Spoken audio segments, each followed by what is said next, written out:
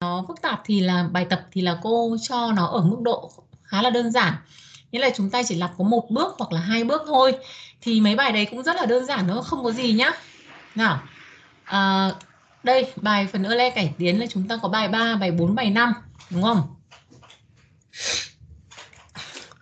Ví dụ bài số 3 bài số 3 các em thay cái dấu này bằng dấu trừ cho cô nhé là tìm nghiệm gần đúng bằng phương pháp ơ le cải tiến và chỉ yêu cầu lặp một lần và cái này là chúng ta so sánh với nghiệm đúng. Nào cái nghiệm đúng của cái phương trình vi phân y phẩy bằng y trừ đi 2x gì trên y. À, đây là phương trình gì nhỉ? Phương trình này là phương trình vi phân gì nhỉ? Có bạn nào nhớ cái dạng phương trình vi phân này là phương trình vi phân gì không? Có bạn nào nhớ không nhở nhớ bật mic trả lời cô xem.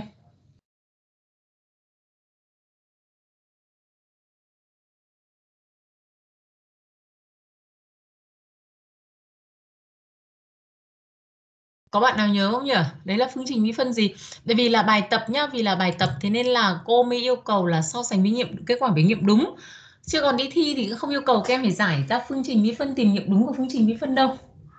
À, thực tế thì làm sao bởi vì đi thi thì chúng ta chỉ tìm nghiệm gần đúng thôi không cần phải giải phương trình vi phân để, để tìm nghiệm đúng bởi vì cái bài toán giải phương trình vi phân thì tìm nghiệm đúng đấy là cái bài toán khác rồi nào còn nhớ cái phương trình này là phương trình gì không nhỉ còn nhớ nó là phương trình gì không? Đây, bài số 3 đây. Bài số 3. Các bạn làm đều đúng nhé. Tất nhiên hầu hết các bạn làm đều đúng cho cô. Đây, bài số 3 vì chúng ta chỉ lặp có một bước thôi. Lặp có một bước. Thì cái nghiệm phương trình này là phương trình gì nhỉ? Lớp mình không có bạn nào nhớ là phương trình gì à? Đây, phương trình này, phương trình vi phân này nhớ là điều kiện ban đầu nhá. Chúng ta tìm nghiệm riêng đấy. Tìm nghiệm riêng nhá, không phải là nghiệm tổng quát. Nghiệm tổng quát là phụ thuộc vào hàng số C, đúng không? Và bài này là chúng ta tìm nghiệm riêng, tìm nghiệm riêng. Biết phương trình này là phương trình gì không nhỉ? Không có bạn nào nhớ à?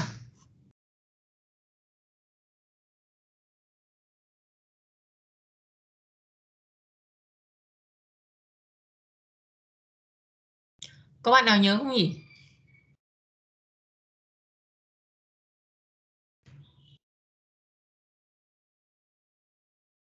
Phương trình gì nhỉ? Phương trình Bernoulli đúng không? Chứng tỏ là học xong quên rồi. Phương trình này là phương trình Bernoulli đấy. Muốn giải phương trình này thì phải đổi biến đưa cái thằng y này về z bằng cách là đặt z bằng y bình phương đúng không? Các em nhân chéo lên nhá, nhân chéo lên đặt z bằng y bình phương sau đó chúng ta thay vào và đưa trở về thành phương trình vi phân tuyến tính đối với thằng z Đấy, sau đó giải cái thằng tuyến tính đó chúng ta thay vào thì chúng ta sẽ tìm được y.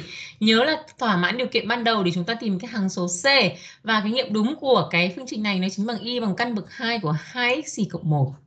Đấy, đây là nghiệm đúng. Tất nhiên là bài tập thôi thì cô sẽ cho các em là so sánh với nghiệm đúng. Còn đi thi thì các em lưu ý là sẽ không so sánh với nghiệm đúng đâu nên cứ yên tâm nhé. Đi thi là không so sánh với nghiệm đúng đâu. Thế nên là chúng ta cứ yên tâm, không lo cái vấn đề đó. Nào cái này à, đơn giản rồi chúng ta là ole đây là ole cải tiến đúng không? À, điểm xuất phát là x thì không thì bằng không mà cái điểm h của chúng ta là bằng 0,2 vậy cái và chúng ta chỉ lặp đến bước một thôi. Còn cái n này của chúng ta tối đa của chúng ta là bao nhiêu bước nhỉ? À, là 5 bước đúng không? Nhưng chúng ta chỉ làm đến bước thứ mấy thôi? N bằng một thôi. Thì n bằng một thì các em tìm được cái nghiệm y của chúng ta này theo đúng cái phần công thức Euler cải tiến nhé chúng ta lắp vào cái này cô đã hướng dẫn rồi. Và chúng ta bấm thay x bằng một vào đây. X bằng 0,2 vào đây. Chúng ta tìm cái nghiệm đúng thì thằng này là 1,187 còn thằng này là 1,183 thì nó cũng sắp xỉ gần như là nghiệm đúng sắp xỉ gần như nhìn nghiệm đúng. Đây là bài mấy bài này thì dễ các em lắp công thức vào thôi và cái việc của chúng ta là gì? Là cũng không quá là lặp à, cái bước lặp nó không dài thường là chúng ta cho một hoặc hai bước thôi. Vì cái thằng um, ô cải tiến này nó chữ không phải là dễ. Nghĩa là cái công biểu thức nó loằng ngoằng ấy, biểu thức nó loằng ngoằng.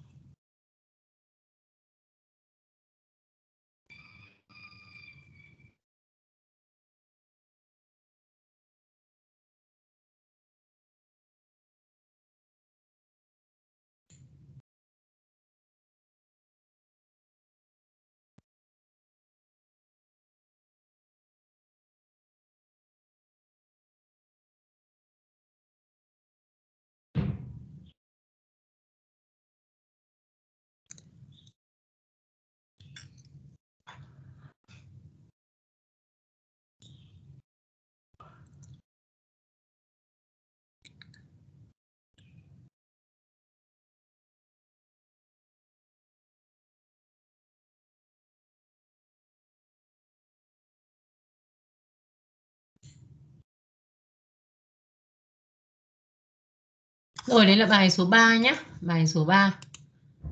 Các bài sau thì các em chỉ viết công thức vào thôi. Đây là bài số 3. Bài số 4 cũng thế. À, chính xác đến 4 chữ số lẻ thập phân trùng nhau. Ờ, ở đây viết thế này có nghĩa là các em lấy sau dấu phẩy là bốn chữ số thôi nhé. Một số bạn hôm trước cũng hỏi cô là chữ số chắc thì chốc nữa cần thiết thì cô sẽ giải thích chữ số chắc. Thường là khi cho chữ số chắc thì nó sẽ đánh nó sẽ ứng với cái sai số là bao nhiêu. Đấy, nó phải có sai số thì chúng ta mới biết được cái chữ, số chắc. Thì thông thường đi thi thì sẽ cho các em là uh, lấy sau dấu phẩy, nghĩa là chúng ta lấy đến bao nhiêu lẻ chữ số thập phân thôi. Nghĩa là sau dấu phẩy mấy số thôi. Chứ cũng không yêu cầu cái gì quá phức tạp cả. Viết thế này có nghĩa là lấy sau dấu phẩy của chúng ta là bốn số nhá Lấy sau dấu phẩy của chúng ta là bốn số. Thông thường thì là chúng ta nên lấy sau dấu phẩy nhiều số bởi vì để đảm bảo cái độ chính xác của nó cao. Bởi vì có những cái bước mà nó chỉ sai lệch nhau có một chút xíu xíu thôi mà chúng ta không lấy sau dấu phẩy nhiều ấy, thì chúng ta không nhìn rõ được cái sự khác nhau của nó. Không nhìn rõ sự khác nhau của nó nhé. Viết thế này có nghĩa là lấy sau dấu phẩy bốn số. Viết thế này có nghĩa là lấy sau dấu phẩy bốn số nhé Cái này dùng ơ lê cải tiến để chúng ta làm này. Như vậy là bước khởi điểm của chúng ta là x gì không của chúng ta là bằng 0 và bước h của chúng ta là bằng 0,05 mà tính giá trị tại y tại điểm 0,1. Như vậy là chúng ta lặp hai bước đúng không? Ở đây chúng ta nhìn thấy này, chúng ta chỉ cần lặp hai bước bằng phương pháp Euler cải tiến để tìm nghiệm gần đúng. Vậy phương pháp lặp phần lặp hai bước của chúng ta đây chúng ta thực hiện là lặp hai bước. Và lặp hai bước và sau khi chúng ta tính lặp được hai bước thì cái giá trị y của chúng ta này y tại điểm um, 0,1 của chúng ta nó sẽ là 1,1 104 đây lấy sau dấu phẩy 4 số. Đây là lấy sau dấu phẩy 4 số vì đề bài yêu cầu là như thế nhé và chúng ta lặp bao nhiêu bước? Lặp hai bước lặp hai bước.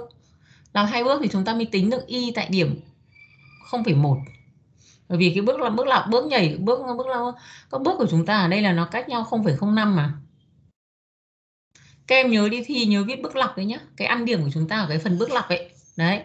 Đi thi nhớ viết cái bước lọc ra nhá, chứ không phải là chúng ta chỉ viết con số đâu. Không phải là viết mỗi cái bảng này đâu, mà đi thi chúng ta phải viết cái bước lọc bên trên này ra này. Đấy, phải viết bước lọc đấy nhá. Bởi vì các phương pháp này nó khác nhau ở bước lọc. Ví dụ như Euler và Euler cải tiến trong trường hợp là giải phương trình, đúng không? Phương trình đi phân cấp 1 thì cái bảng nếu các em không viết bước lọc thì cái bảng không nhìn thấy sự phân biệt vì các cột kết của nó tương ứng nó chỉ như nhau thôi cho nên là chúng ta phải viết bước lặp nhé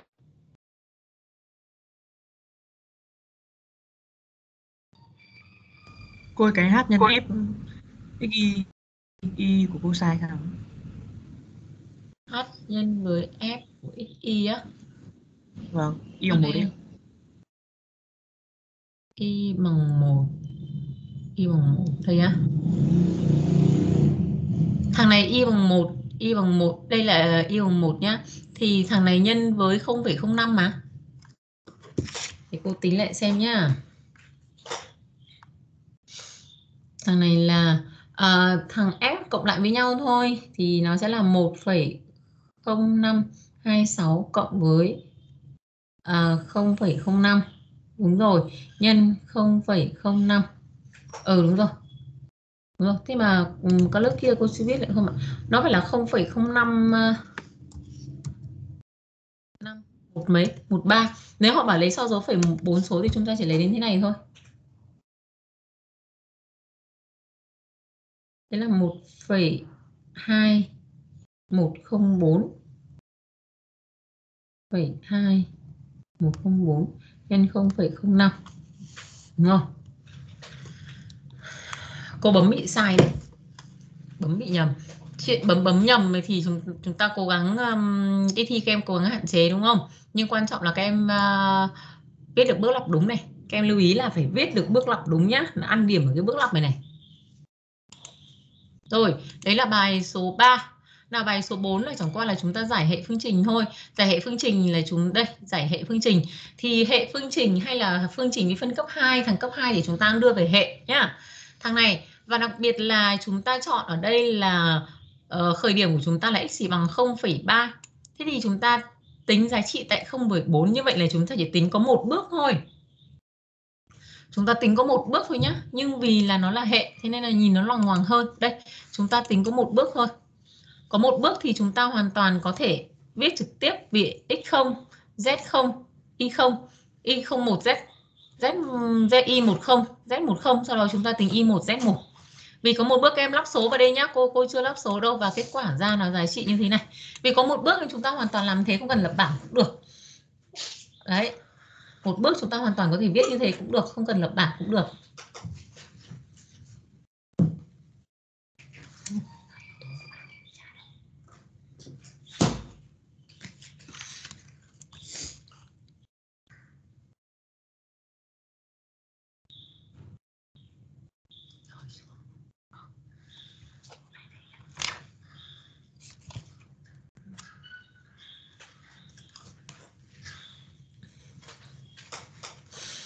Vì có một bước thì chúng ta làm này, nhưng mà các em nhớ là viết bước lặp vào cho cô nhá. Viết bước lặp, nếu chúng ta không viết cấp n thì chúng ta viết như thế này cũng được này. Đấy, viết như thế này cũng được, nếu chúng ta không viết tổng quát. Nếu chúng ta không viết tổng quát thì chúng ta viết bước lặp như thế này cũng được nhá. Thế còn trường hợp mà từ hai bước hoặc ba bước thì chúng ta viết tổng quát thôi, chúng ta lập cái bảng cho đơn giản. Để các em khỏi viết nhiều, đúng không? Đỡ phải viết nhiều.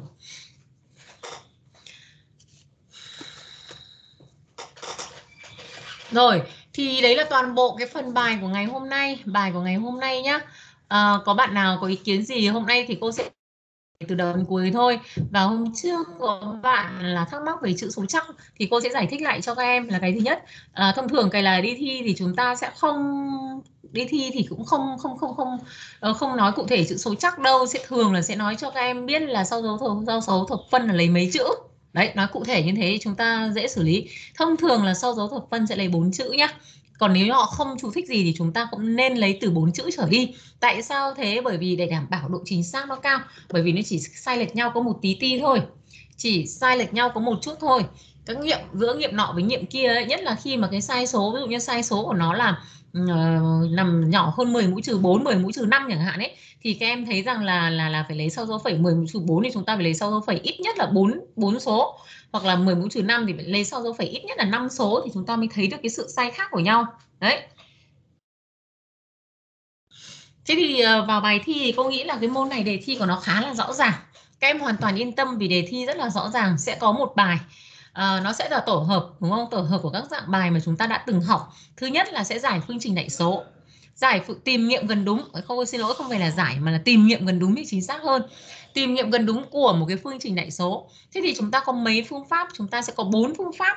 Phương pháp thứ nhất là phương pháp chia đôi phương pháp thứ hai là phương pháp lặp đơn phương pháp thứ ba là phương pháp dây cung và phương pháp thứ tư là phương pháp tiếp tuyến tiếp tuyến hay còn gọi là Newton đúng không nếu đề bài người ta yêu cầu chúng ta làm theo phương pháp nào thì bắt buộc các em phải làm đúng theo cái phương pháp đó nếu họ bảo là dùng phương pháp lặp đơn chúng ta phải làm đúng theo lặp đơn dùng phương pháp dây cung làm đúng theo dây cung dùng phương pháp tiếp tuyến làm đúng theo phương pháp tiếp tuyến còn đề bài họ không yêu cầu thì chúng ta có thể tự lựa chọn phương pháp nào mà chúng ta thấy phù hợp đấy nhá nhưng thông thường, đề bài sẽ chỉ cho các em là làm theo phương pháp nào. Thông thường, ví dụ ngày xưa, trước nếu, không phải ngày xưa mà nếu chúng ta thi trực tiếp ở trên lớp 4 năm đề thì sẽ có có thể cùng một phương trình, nhưng mỗi đề thì sẽ là một phương pháp khác nhau. Đấy, phương pháp khác nhau thì có thể ra kinh nghiệm sấp xỉ nó có thể khác nhau nhá, bởi vì sai số giữa các phương pháp là vẫn có, đúng không? Cái thứ nhất, đấy là giải phương trình đại số cái thứ hai nữa là tìm nghiệm gần đúng của hệ phương trình tuyến tính. Thế vì cái phương pháp Gauss, khử Gauss là cái tìm nghiệm chính xác và chúng ta đã từng học ở môn toán cao cấp 33 rồi. Và ở đây chúng ta có hai phương pháp để đánh giá như tìm nghiệm gần đúng. Đó là phương pháp gì? Phương pháp lọc đơn và phương pháp xây đen, đúng không? Lập đơn và xây đen chúng ta làm như thế nào? Chúng ta lưu ý đấy. Và mỗi một phương pháp các em như lưu ý, học cho cô cái gì? Bước lập của nó là gì? Sai số của nó là gì? Có hai cái vấn đề ấy thôi bước lặp là gì? Sai số là gì? Đấy đấy là có hai cái vấn đề đấy nhá. Bước lặp và sai số. Bài dạng bài thứ ba đó là tìm cái đa thức nội suy hoặc tính giá trị của cái đa thức nội suy tại cái điểm nào đó. Thế thì đa thức nội suy thì chúng ta có hai loại đa thức nội suy. Loại thứ nhất là đa thức nội suy Lagrange. Nếu họ bảo là dùng đa thức nội suy Lagrange, các em phải lập đa Lagrange. Như vậy, bậc của đa thức nội suy nó sẽ phụ thuộc vào các mốc nội suy. Nếu có 5 mốc thì chúng ta có bậc tối đa không quá 4 có 4 mốc thì bậc tối đa không quá 3 đối với trường hợp đa thức Lagrange thì các em phải lập các đa thức Lagrange cơ bản nhớ nhá nhớ cách lập đa đa thức Lagrange cơ bản đấy sau đó là nhân với các giá trị y thì ra được ra, ra cái đa thức Lagrange đúng không thế còn có loại thứ hai là là lập nội suy uh, Newton thì nó sẽ có hai loại là Newton tiến và Newton lùi. Khi nào gọi là tiến? Khi chúng ta xuất phát từ điểm x 0 được gọi là tiến. Còn nếu chúng ta xuất phát từ điểm x n thì được gọi là lùi. Đấy. Thế thì đối với thằng nội suy Newton ấy thì nó có hai loại, đó là trường hợp mốc cách đều và mốc không cách đều. Với mốc cách đều thì mốc không cách đều chúng ta làm như bình thường, còn mốc cách đều là trường hợp đặc biệt, đúng không? Trường hợp đặc biệt. Nếu mốc không cách đều thì chúng ta tính tỉ hiệu, còn nếu mốc cách đều thì chúng ta chỉ tính hiệu thôi. Đấy nhá. Còn trường hợp mà còn tiếp nữa là chúng ta tính gần đúng tích phân xác định thì dễ rồi, tính gần đúng tích phân xác định chúng ta có hai phương pháp. Phương pháp thứ nhất là phương pháp hình thang, phương pháp thứ hai là phương pháp Simpson, công thức Simpson hoặc là parabol nhé. Rồi và cuối cùng cái phần của chúng ta là giải gần đúng phương trình vi phân thì chúng ta cũng có hai phương pháp là phương pháp Euler và Euler cải tiến. Đấy, đề bài thì nó sẽ cụ thể rất là rõ ràng cho các em giải tìm cái gì, giải cái gì sẽ ghi cụ thể. Và ở đây các em sẽ học cho cô là gì, trong mỗi một trường hợp thì cái bước lặp là gì và sai số là gì nhé nhớ bước lặp và sai số. Bài trong đề thi, người ta sẽ cho hai trường hợp, hoặc họ sẽ hạn chế bước lặp cho các em. Ví dụ, tìm nghiệm sau 4 bước lặp tìm nghiệm sau 5 bước lặp ví dụ như thế. Hoặc người ta sẽ cho sai số để chúng ta khống chế bước lặp thì chúng ta nhớ hai cách như thế. Cách đầu tiên cho bước lặp thì dễ rồi. Cách thứ hai là cho sai số để khống chế bước lặp thì chúng ta phải biết được là à với cái sai số như thế thì chúng ta sẽ tìm ra được là chúng ta lặp tối đa là bao nhiêu bước nào, nói thì như thế, bây giờ vào cụ thể nào. Vào cụ thể chúng ta gồm có cái nội dung như sau. Nói xong hết thì bạn nào cần nghe về chữ số chắc thì cô sẽ nói về chữ số chắc. Thế còn các em yên tâm để đi thi sẽ nói với các em biết là sau dấu phẩy là mấy lấy mấy chữ số. Nói thế cho nó rõ ràng hơi đúng không? Thế thì cái phần đầu tiên là giải cái phương trình đại số thì muốn tìm nghiệm thì các em phải xác định được cái khoảng cách ly nghiệm. Thế thì thông thường trong đề thi thì sẽ cho trước các em khoảng cách ly nghiệm các em yên tâm là như thế. Trong đề thi sẽ cho trước cho chúng ta khoảng cách linh nghiệm để chúng ta không phải tìm. Bởi vì quá trình tìm khoảng cách linh nghiệm này nó cũng sẽ ảnh hưởng đến cái số bước lọc của chúng ta. Nếu như cái khoảng cách linh nghiệm của chúng ta mà nó càng hẹp và nó càng gần nghiệm đúng thì chúng ta chỉ lọc ít bước thôi. Còn khoảng cách linh nghiệm của chúng ta mà nó rộng thì chúng ta phải lọc nhiều bước thì chúng ta mới đề tiến sát được cái nghiệm gần đúng nhá. Thì chúng ta sẽ cho trước, sẽ cho trước các em khoảng cách linh nghiệm là bao nhiêu để chúng ta không phải đi tìm cái khoảng cách linh nghiệm nữa. Phương pháp đầu tiên là phương pháp chia đôi. Phương pháp chia đôi là chúng ta cứ lấy giá trị tại trung điểm, sau đó so sánh cái dạ dấu tại cái giá trị trung điểm này với một trong hai đầu mút. Trái dấu với đầu nào thì chúng ta chọn cái khoảng đó và chúng ta lại chia đôi tiếp. Thì như vậy là bước lặp của nó đây. Các phương pháp của nó bước lặp là chia đôi liên tiếp đây. Bước lặp của nó là bước lặp này, đúng không? Và các em nhớ cho cô học bước lặp và cái sai số, đây chính là sai số. Sai số chính x n là nghiệm gần đúng tại bước thứ n, còn x gì sao là nghiệm chính xác và sai số nó sẽ nhỏ hơn là bn trừ an trên 2 hoặc là b trừ a trên 2 mũ n cộng 1.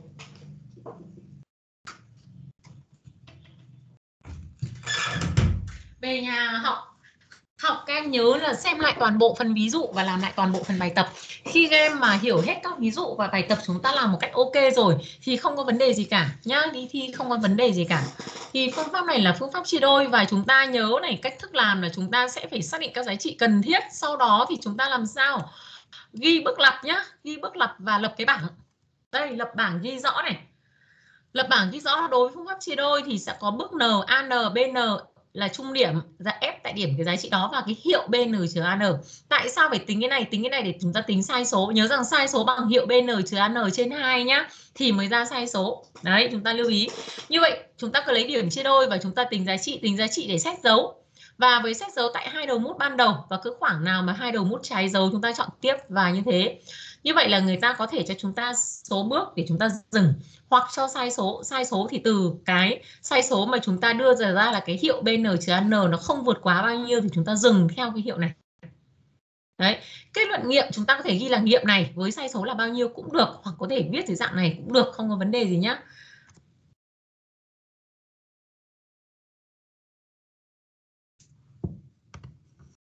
Thì đấy là phương pháp chia đôi, chúng ta lưu ý phương pháp chia đôi và nhớ sai số của nó. Phương pháp thứ hai là phương pháp lặp hay còn gọi là lặp đơn cũng được. phương pháp lặp phương pháp này cô nghĩ là nó là khó nhất trong bốn cái phương pháp giải phương trình đại số lý do làm sao là cái từ cái phương pháp này chúng ta phải đưa được ra đưa được ra cái hàm lặp có nghĩa là chúng ta phải biểu diễn được x xì dưới dạng phi x. Nhưng phi x không phải là khi chúng ta rút x theo x như thế nào cũng thỏa mãn.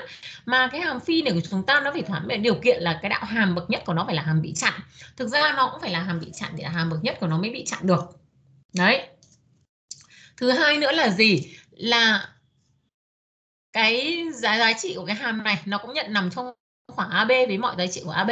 Thế thì thông thường khi nào, nếu như một một một ờ, phương trình, làm thế nào chúng ta có thể rút được ra cái hàm lặp thì thông thường nếu như trong phương trình thì chúng ta sẽ rút lấy x xì bậc lớn nhất, tách riêng, còn cái phần phần còn lại tách riêng, sau đó chúng ta khai căn nó ra.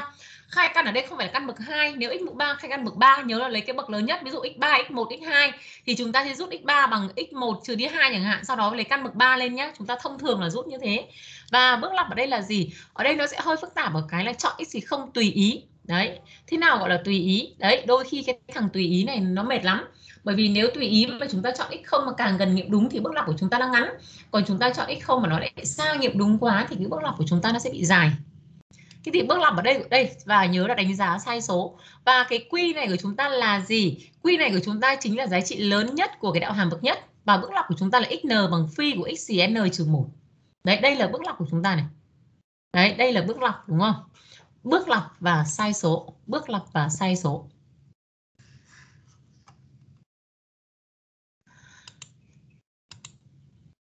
thì ví dụ chúng ta cũng như thế thôi. Ví dụ chúng ta đây. Ví dụ bài này x mũ 3 trừ x trừ 1 thì bao giờ nếu tìm đúng cái hàm lặp bao giờ các em để thằng x mũ 3 riêng ra?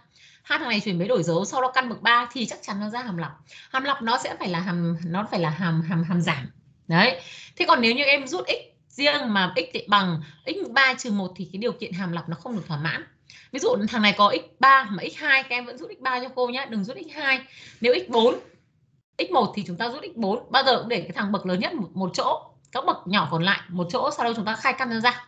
Đấy nguyên tắc chúng ta tìm cái hàm lọc bao giờ cũng như vậy nhá thì chúng ta sẽ cái hàm lọc của chúng ta nó sẽ thỏa mãn điều kiện. Và ở đây là cái um, sai số của chúng ta cái sai số của chúng ta là nó là, đây đây là sai số xn trừ xn trừ 1 thì các em nên nên lập bảng, đúng không? Bộ bài. Đây, nên lập bảng. Vào bài tập này, cô vào cái phần bài tập nó sẽ rõ hơn cái ví dụ đấy. Cô không lập bảng mà nhìn nó không được ờ, rõ lắm. Phương pháp lọc. Đây, phương pháp lọc. Ví dụ bài này là phương pháp lọc thằng này x3 mũ 2 nhé. Thì bao giờ rút x3 đây nhé.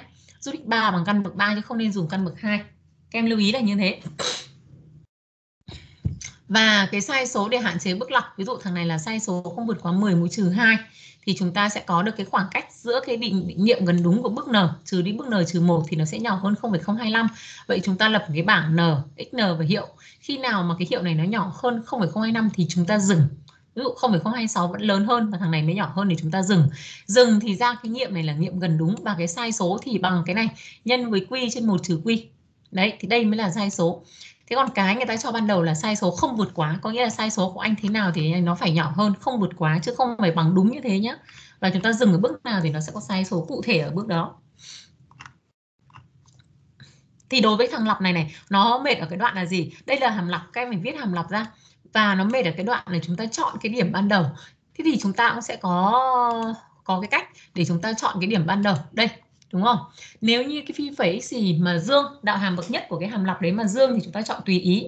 Còn nếu là âm thì chúng ta sẽ chọn cái điểm mà nó trái dấu với giá trị trung điểm. Đấy, xuất phát, cái điểm xuất phát nó trái dấu với trung điểm.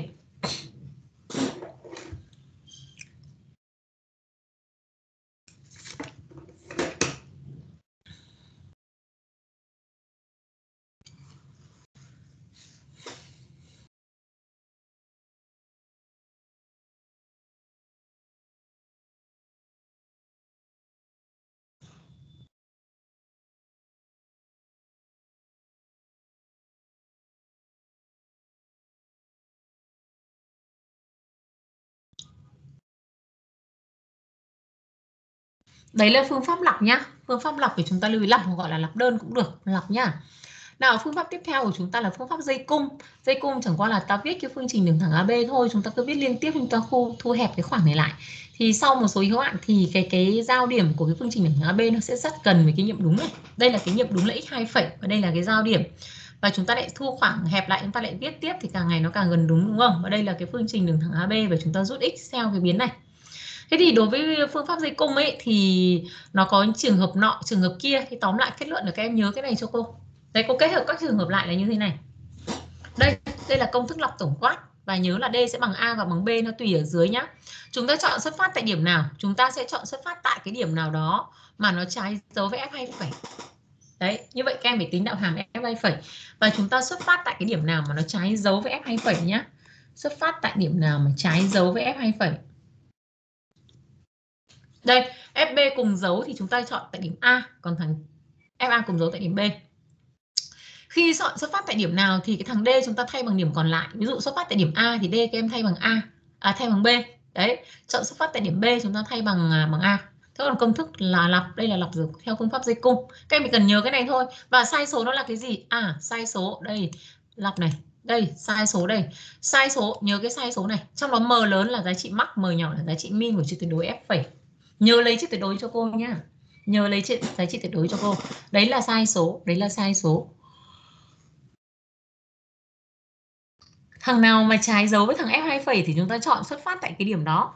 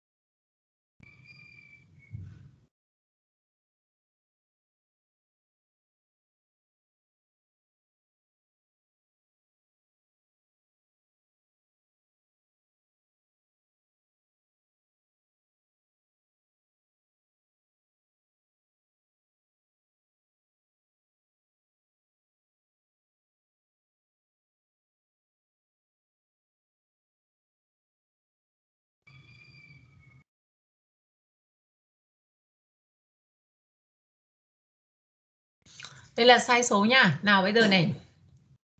Ví dụ này, các em cứ làm theo đúng ví dụ thằng này luôn dương, đúng không? Chúng ta chọn bước lọc này, các em nhớ bước khởi điểm để ghi nhá. Các em cứ làm giống như ví dụ của cô ấy nhá. Đầu tiên tính đạo hàm f phẩy, f 2 phẩy, sau đó chúng ta chọn điểm xuất phát. Khi bước lọc này sau đó chúng ta lập cái bảng lên thôi ghi bước lọc. Thế thì có bài họ sẽ cho sai số để hạn chế bước lọc, còn không, họ sẽ bảo chúng ta lọc đến bao nhiêu bước và chúng ta tính sai số. Đấy, nó chỉ quanh đi còn lại, nó chỉ có hai trường hợp như thế thôi. Hoặc là cho chúng ta sai số để hạn chế bước lọc. Hoặc là chúng ta sẽ làm sao? Hoặc là chúng ta sẽ cho chúng ta đến lọc đến bước thứ bao nhiêu? Thì các em nhớ là sai số để hạn chế bước lọc thì chúng ta phải tính giá trị lớn nhất, giá trị nhỏ nhất của trị tuyệt đối f phẩy nhá. Bằng cách là thay vào một trong hai đầu mút thôi bởi vì cái hàm này của chúng ta nó phải là cái hàm uh, hàm đơn điệu nghĩa là hoặc là đồng biến hoặc là nghịch biến. Đấy ở trong cái khoảng AB đấy trong cái khoảng đấy. Chứ không bao giờ nó lại có giá trị. Được nghĩa là nó chỉ có đạt giá trị lớn nhất nhỏ nhất một trong hai đầu mút thôi. Chứ không bao giờ lại có cái cực trị nằm ở giữa. Không có cực trị nằm ở giữa cái đoạn AB nhá vì khoảng AB là khoảng cách kinh nghiệm nó thỏa mãn điều kiện như thế rồi. Thì chúng ta chỉ thay vào một trong hai giá trị ban đầu đầu mút ấy mắc hoặc min đấy là một trong hai giá trị tại đầu mút thôi. Các em lưu ý như thế không có mắc min nằm giữa đâu nhé, mắc min thì nó chỉ rơi vào một trong hai cái điểm đầu điểm cuối. Đấy chúng ta lưu ý là như thế vì trong các hàm trong khoảng này nó đều phải là hàm hoặc là đồng biến hoặc là nghịch biến chứ không bao giờ lại có cực trị ở trong cái khoảng đó.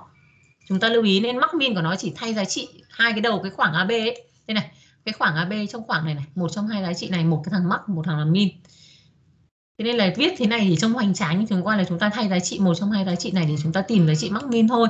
Cái hàm của chúng ta luôn là đồng biến hoặc kịch biến và không có cực trị, không có cực trị nằm trong cái khoảng AB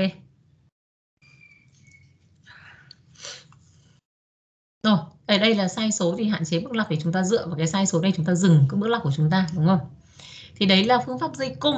Nào, phương pháp cuối cùng trong việc giải phương trình là phương pháp tiếp tuyến hay còn gọi là phương pháp Newton. Các em lưu ý nhá, hai tên đều được nhá, đi thi lại lúc thì bảo Newton, lúc bảo tiếp tuyến rồi lại hoảng hồn, không biết là cái nào, đúng không?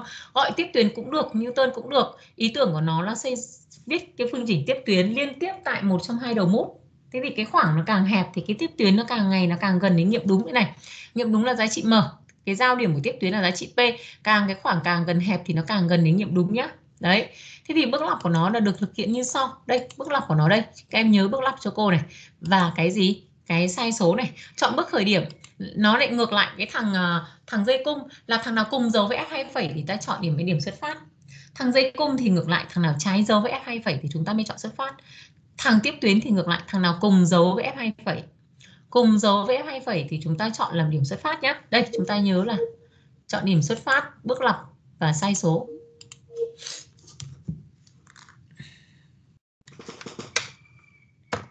Các em nhớ bà nhớ cái thông tin cơ bản thứ nhất là chọn điểm xuất phát là như thế nào, bước lặp là như thế nào và sai số là như thế nào. M nhỏ chính là giá trị min thôi. M nhỏ chính là min của f f phẩy trị tuyệt đối f phẩy x. Thay giá trị cận một trong hai cận vào thôi.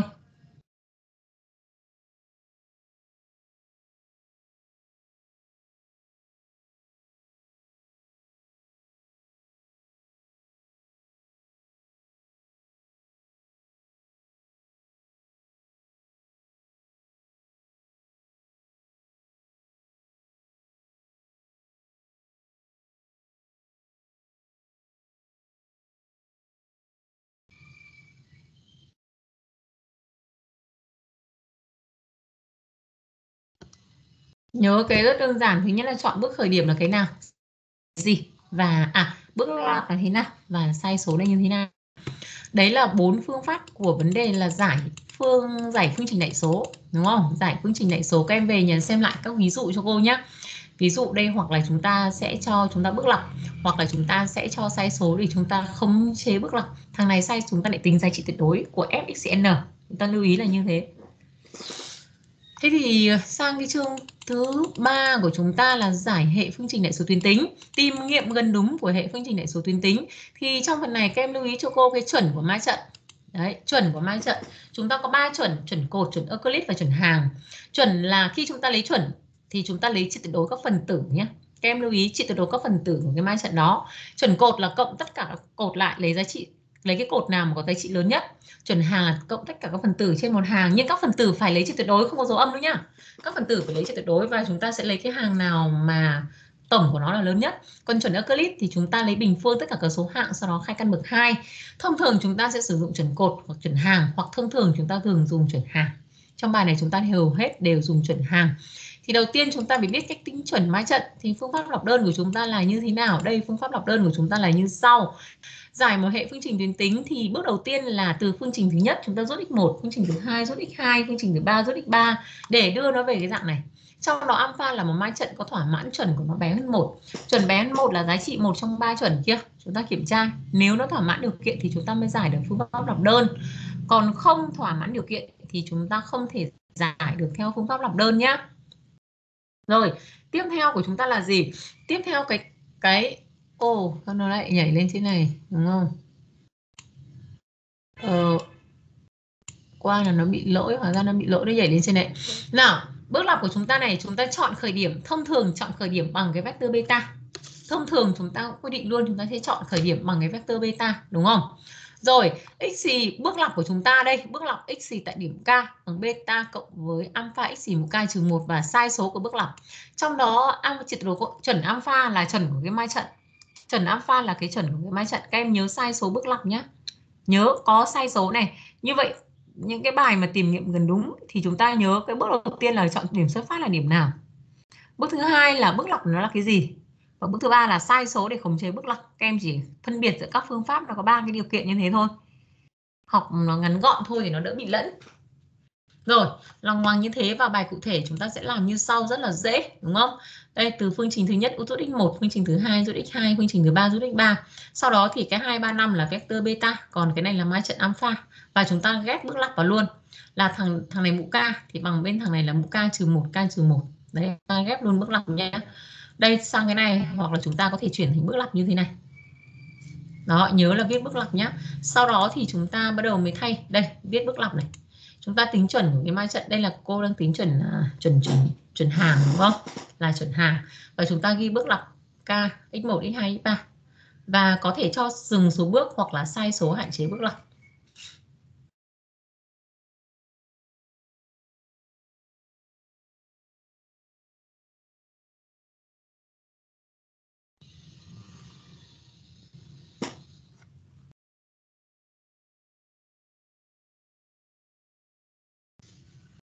Thì đấy là phương pháp lập đơn. Phương pháp thứ hai là phương pháp lọc lập đen nào cái cô viết từ đen này là viết từ tiếng Anh nhá. Thế còn một số, có số thầy cô có thể viết phiên âm sang tiếng Việt nó là dây đen nhá. Dây đen với đen đây là cũng giống như nhau đấy. Tại vì một số bạn có lớp khác là các bạn ấy cũng thắc mắc.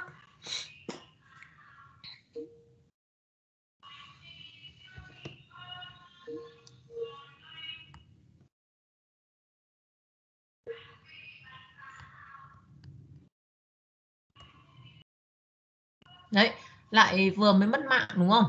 Nào, hai cái này như nhau nhá. Các em chú ý cho cô nhá. Đi thi người ta viết bằng chữ tiếng Việt này, không hiểu chữ dây đen là cái gì. Chúng ta lưu ý đấy, chẳng qua là phiên âm của cái chữ dây đen kia ra thôi phiên âm của cái từ tiếng Anh ra thôi. Nghĩa là chúng ta viết theo kiểu cách chúng ta đọc tiếng Việt ấy viết theo kiểu cách chúng ta đọc tiếng Việt thôi nhá, chứ cũng không có gì cả.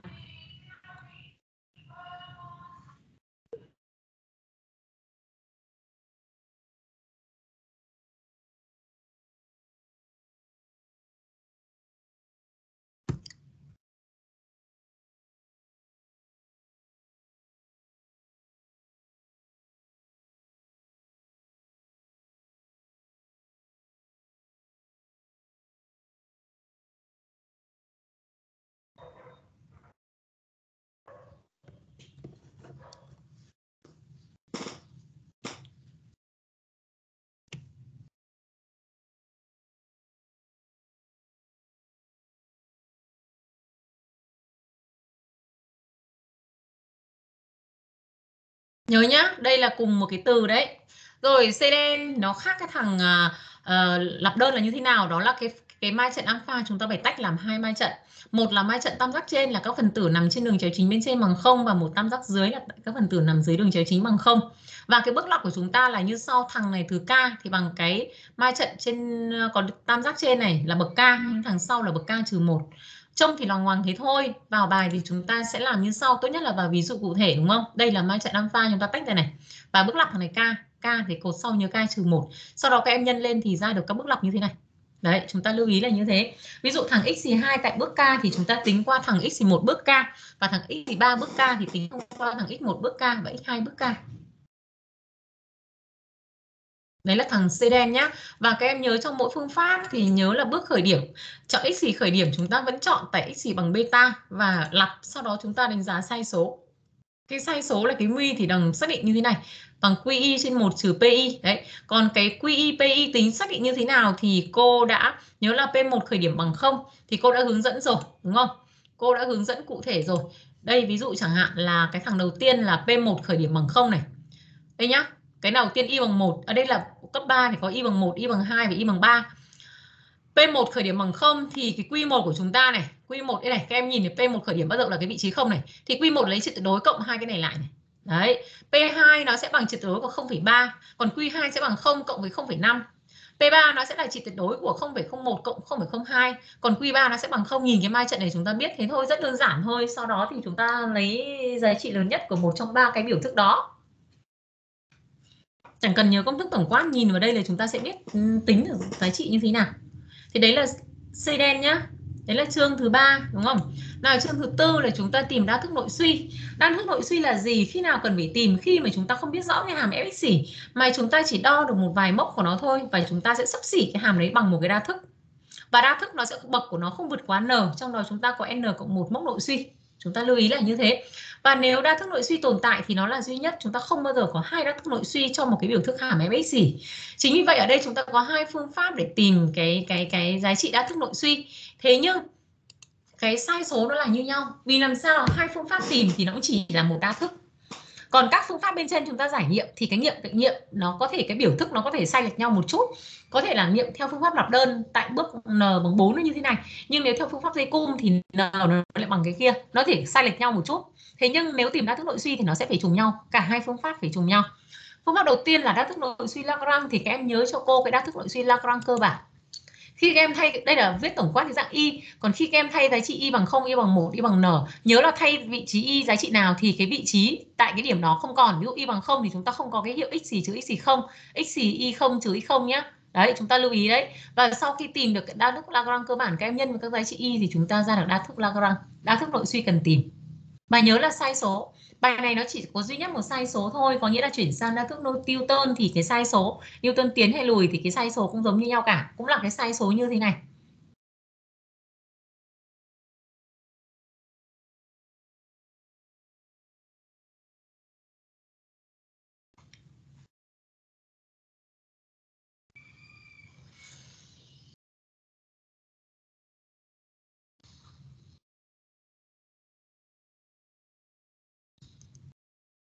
Rồi, thế thì ở đây là cô trong bài này cô đã xét cụ thể trường hợp bậc 1, bậc 2 đúng không? Ví dụ như thế nào nhá. Những cái này thì chúng tôi đã hướng dẫn cụ thể rồi.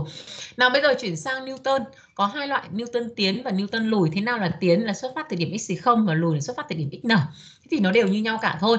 Thế thì ở đây là trường hợp chúng ta xét mốc nội suy bất kỳ, nghĩa là nó không cách đều nhau, mốc nó có thể nhảy lung tung đúng không? Thì chúng ta có phần tỉ hiệu này, tỉ hiệu cấp 1, tỉ hiệu cấp 2 và chúng ta tính như thế nào cô đã hướng dẫn rồi nhá. Cái số tỉ hiệu cấp lớn nhất nó sẽ phụ thuộc vào mốc nội suy. Chúng ta có 5 mốc nội suy thì tối đa chỉ đến cấp 4 thôi, còn có 3 mốc nội suy thì tối đa đến cấp 2, còn 4 mốc nội suy thì tỷ hiệu của chúng ta đến cấp 3. Chúng ta lưu ý đấy. Chúng ta lưu ý. Và tỷ hiệu cô hướng dẫn tính như thế nào thì chúng ta đã tính rồi đúng không à, cái bảng này thì nhìn không rõ một lần là chúng ta phải tính ra cái này là lấy hiệu giữa y chia cho hiệu của x thôi hiệu của y chia cho hiệu của x thôi thì chúng ta sẽ lần xem là cái đấy x nào, y nào, thằng x nào, lớn nhất, x nào, bé nhất thì chúng ta trừ đi cho nhau. Cái này đã hướng dẫn cụ thể rồi, bạn nào mà không mấy thì chúng ta, cô có thể hướng dẫn lại. Và sau khi chúng ta tính xong các tỷ hiệu thì chúng ta có hai cái công thức hoặc là Newton tiến, Newton lùi. Đây này, tiến là chúng ta xuất phát từ điểm x không, còn lùi chúng ta xuất phát từ điểm xn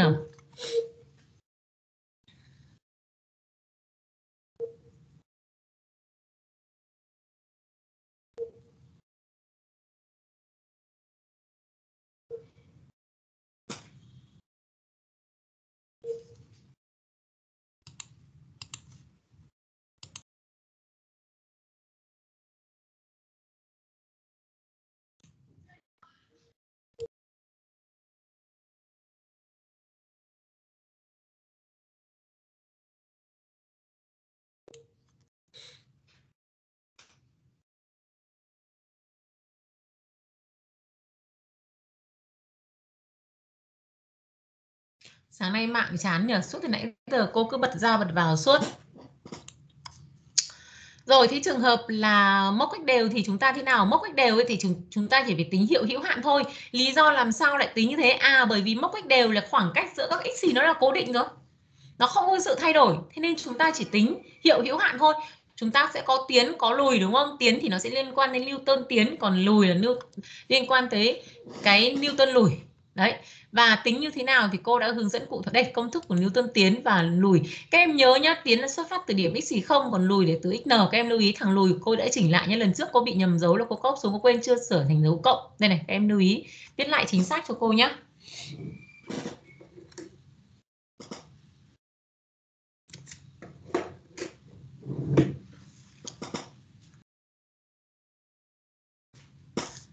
Rồi, tính cái tỉ hiệu này thì dễ chúng ta chỉ lấy y y trừ đi thôi. Y thì cái cột bên trên đây chính là tiến này.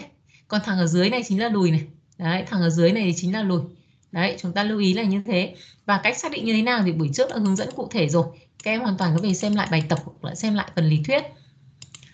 À, sau đó đến chương 5 là chúng ta tính gần đúng tích phân xác định. Thì cô thấy cái phần này là dễ nhất này. Phần này là dễ nhất.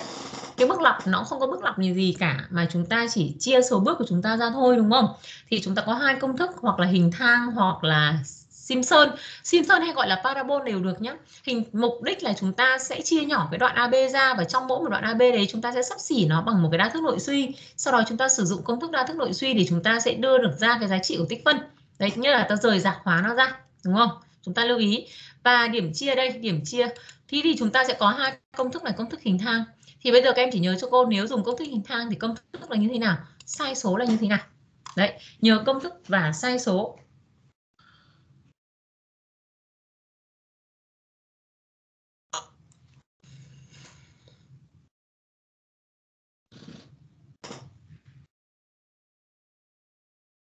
Nhớ công thức và sai số và cách thức chúng ta làm giống như ví dụ này đúng không? Cần tính à, gần đúng thì chúng ta phân tích cái hàm fx ra. H là bước là bao nhiêu và n là bằng bao nhiêu bước, đúng không? Chúng ta tính và chúng ta kết luận cuối cùng cái tích phân gần đúng của chúng ta bằng h và theo đúng công thức hình thang nhé và chúng ta đánh giá sai số. Đây, theo đúng công thức hình thang. Thông thường nếu như bài mà tính gần đúng thì sẽ yêu cầu các em làm ít nhất là 10 bước đấy. Yêu cầu làm ít nhất là 10 bước. Thì cái này thì dễ thôi không có gì cả. Chúng ta cứ cho vào máy chúng ta bấm thôi. Nó cũng đơn giản, không không không có cái gì gọi quá phức tạp.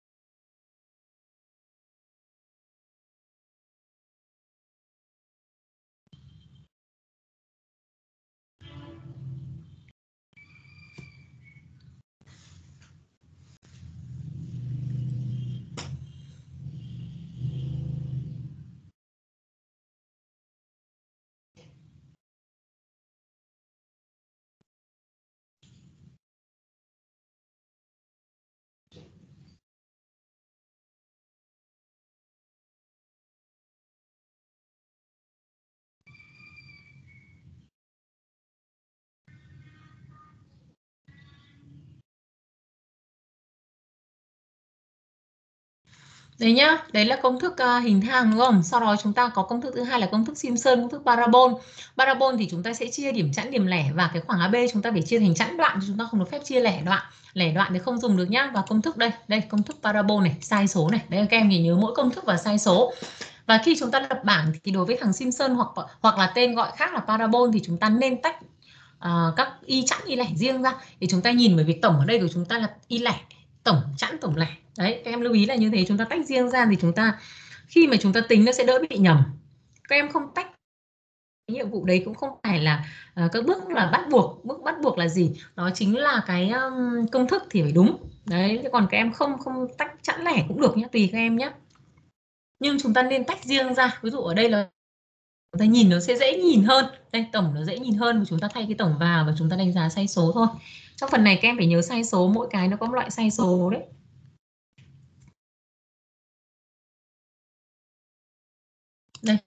Sai số, đúng không? Thì đối với cô là cái phần này là đơn giản nhất, cái vấn đề tính gần đúng tích phân xác định này là dễ nhất đấy không không không có gì phức tạp cả.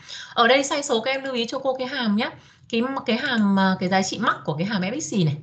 Nào, chúng ta lưu ý, nếu như ở đây ghi là mắc trên đoạn AB đấy, mắc ừ mắc trên đoạn AB đúng rồi. Thì chúng ta lấy giá trị lớn nhất của F2 phẩy nhá, trên đoạn AB thì chúng ta thay vào cận một trong hai giá trị AB thôi. Rồi, chương cuối cùng của chúng ta là giải gần đúng phương trình vi phân thì có hai phương pháp là phương pháp Euler và Euler cải tiến. Đấy, Euler thì phương pháp lặp lặp của nó là gì? Đây, bước lặp của nó. Ờ, đâu nhỉ? Đây, bước lặp của nó đây. Đây, chúng ta nhớ bước lặp này. Chọn điểm xuất phát là điểm x0 và các bước từ sau là các bước lặp của nó. Và với bước lặp này thì thường là Euler cái việc đánh giá sai số nó khó.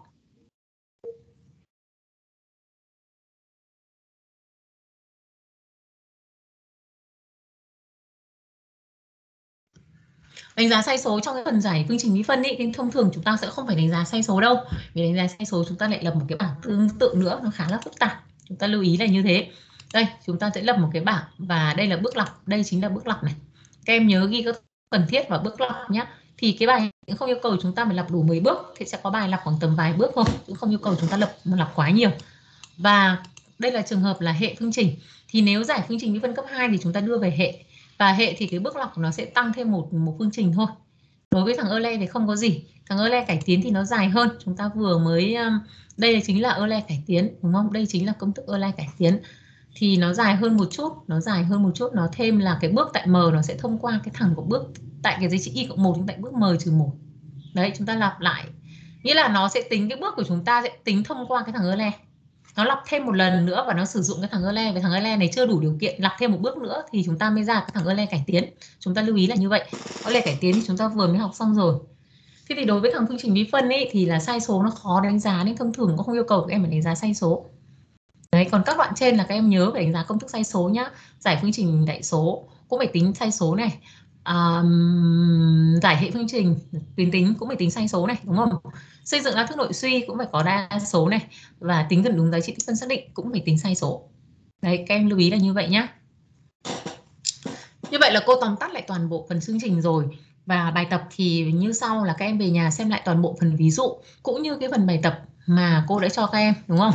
Xem lại toàn bộ phần ví dụ và các phần bài tập nhé à, ờ, môn này thì đề bài nó sẽ rõ ràng thôi chúng ta giải tính cụ thể theo cái phương pháp nào đấy, sẽ không có cái gì lát léo cả, cụ thể như thế thôi. Quan điểm, quan à, quan trọng nhất là các em nhớ được bước lọc, nhớ điểm khởi, điểm xuất phát, nhớ bước lọc, nhớ sai số thì chúng ta làm sẽ chính xác. Thông thường là sẽ giải hoặc đánh giá sai số, đúng không? Giải hoặc đánh giá sai số.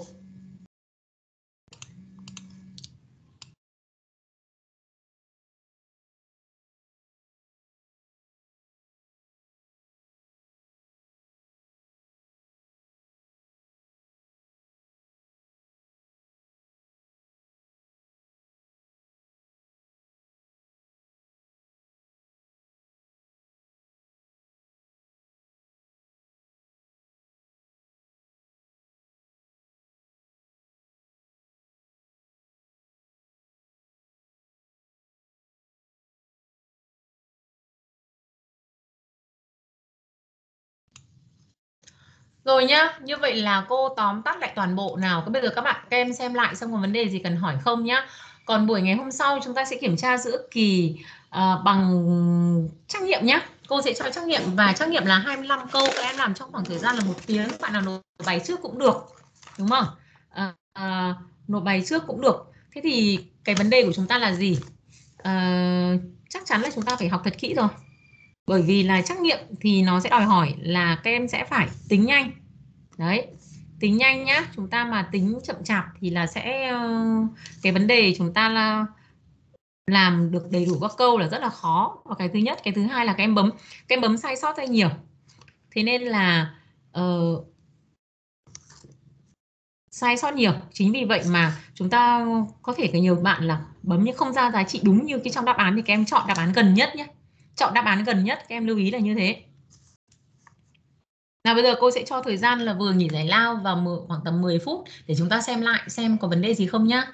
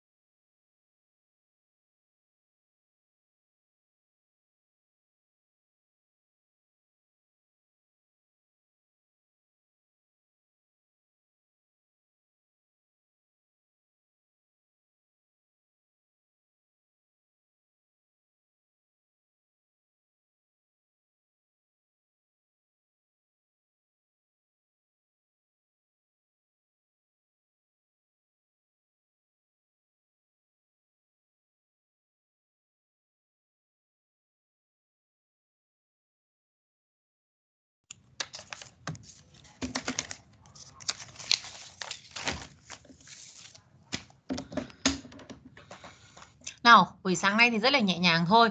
Có bạn nào hỏi cái gì nữa không? Cần nói về chữ số chắc thì cô sẽ nói sẽ chuyển sang chữ số chắc nhá. Cô nói trước thôi chứ để bài thi sẽ không cho em uh, dùng cái cái thuật ngữ ấy đâu. Thông thường dùng thuật ngữ đấy thì chúng ta hay bị uh, có phải không phải bạn nào cũng nắm được. Thực sự là như thế. Cô đang xem màn hình đúng không? Rồi, ok. Cô sẽ nói cái phần chữ số chắc nhá. Ờ, và phần này cô cho phần cuối cùng đi, đúng không? Nào, phần chữ số chắc này.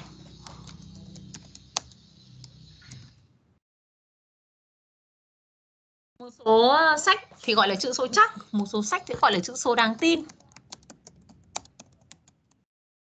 thì muốn xác định được có bao nhiêu chữ số đáng tin, lấy bao nhiêu chữ số đáng tin hoặc bao nhiêu chữ số chắc thì nó sẽ phải phụ thuộc vào sai số. Thế thì đầu tiên là chúng ta sẽ phải biểu diễn một số thực dưới dạng thập phân hữu hạn hoặc là vô hạn. Chúng ta sẽ phải biểu diễn thực dưới dạng thập phân uh, hữu hạn hoặc vô hạn. Nào, biểu diễn thế nào? Cô lấy ví dụ nhé. Lấy ví dụ đơn giản thôi, ví dụ 123 thì các em sẽ biểu diễn dưới dạng thập phân là gì? Có phải là bằng 100 đúng không? Hay là 10 10 mũ 2 đấy. Cái này thì cô phải cho vào công thức toán thôi.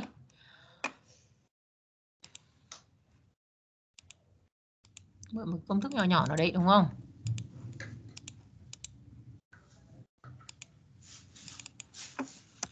Ờ, ví dụ chẳng hạn là 123 thì sẽ bằng là 10 mũ bao nhiêu nhỉ? 10 mũ 2 này.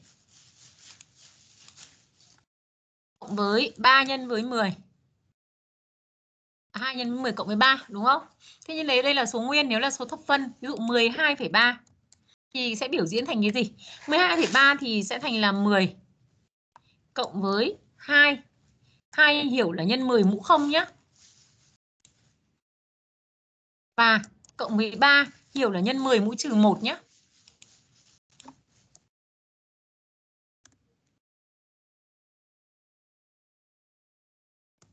Ví dụ đây nhá, cái này thì chúng ta biểu diễn.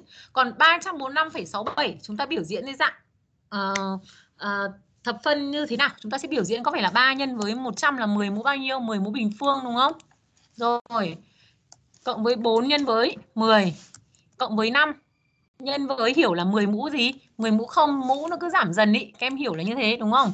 Cộng với 6 nhân với 10 mũ trừ mấy? 10 mũ trừ 2 Đúng không? À 10 mũ trừ 1 cô xin lỗi 7 mới là 10 mũ trừ 2. Cộng với 7 nhân 10 mũ trừ mấy? Trừ 2. Đấy, chúng ta sẽ biểu diễn là như thế, đúng không? Thế thì tổng quát ta sẽ có một cái công thức là như sau là A sẽ bằng cộng trừ được nhá, cộng trừ được hết bởi vì là nó sẽ có số âm hoặc số dương nhé. Số âm số dương thì bây giờ là cô sẽ không ghi cộng trừ nữa là có thể sẽ bằng là alpha m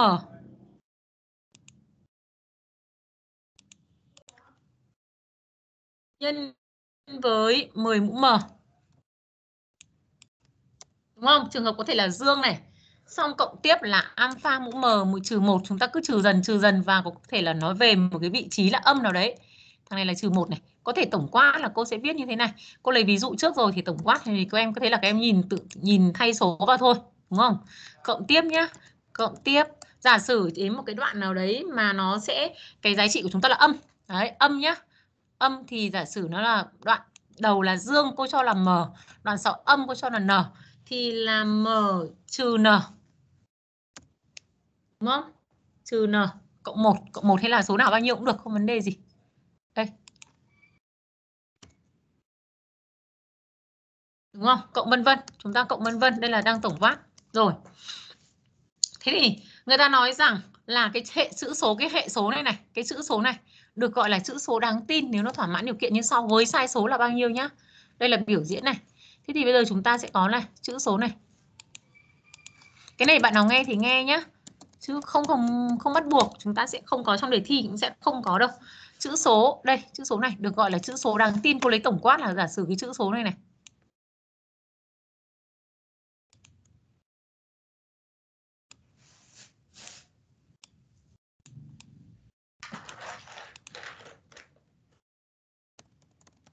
Được gọi là chữ số đáng tin.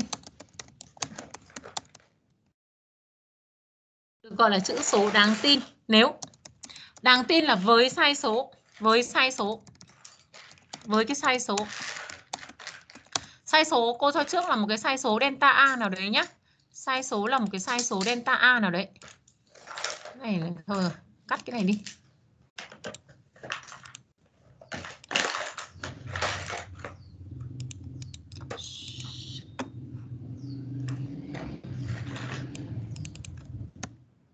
Cái sai số ở đây là epsilon hoặc delta cũng được đúng không? À, một cái sai số là epsilon nào đấy đi. Epsilon đi, đúng không? Một cái sai số epsilon nào đấy. Nhớ là nó phải có sai số nhá. Cái này là khi nói đến chữ số mà chữ số chắc thì phải đi với sai số. Gọi là nếu với cái sai số này nếu nó thỏa mãn điều kiện như sau. Nếu nó thỏa mãn điều kiện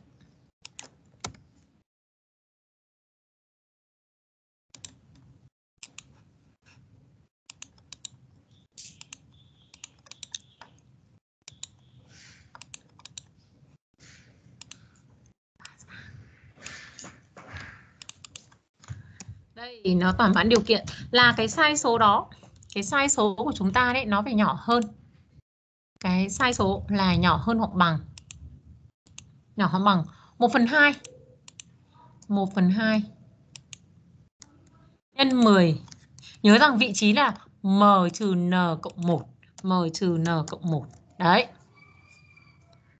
Còn không đáng tin thì là chữ đáng ngờ. Đấy là định nghĩa của chữ số đáng tin là như thế định nghĩa thì là như vậy cô lấy ví dụ để các em hiểu nó dễ hơn thôi. Cô lấy ví dụ để các em hiểu dễ hơn thôi. Nhá bây giờ lấy ví dụ thì chúng ta sẽ hiểu được ngay này.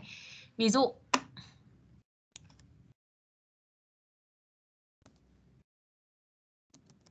Nào chúng ta xem là chữ số này có mấy chữ số đáng tin. Ví dụ cái số A của cô là bằng 3,7272 3,72 84 với cái sai số với cái sai số là 0,0047 nào thì có mấy chữ số đáng tin?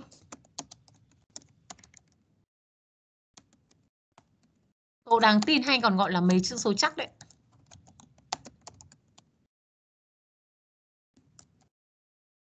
Đấy, nhớ rằng khi nói tìm chữ số chắc hoặc chữ số đáng tin thì nó phải đi với một cái sai số nào đấy nhá đi với một sai số nào đấy.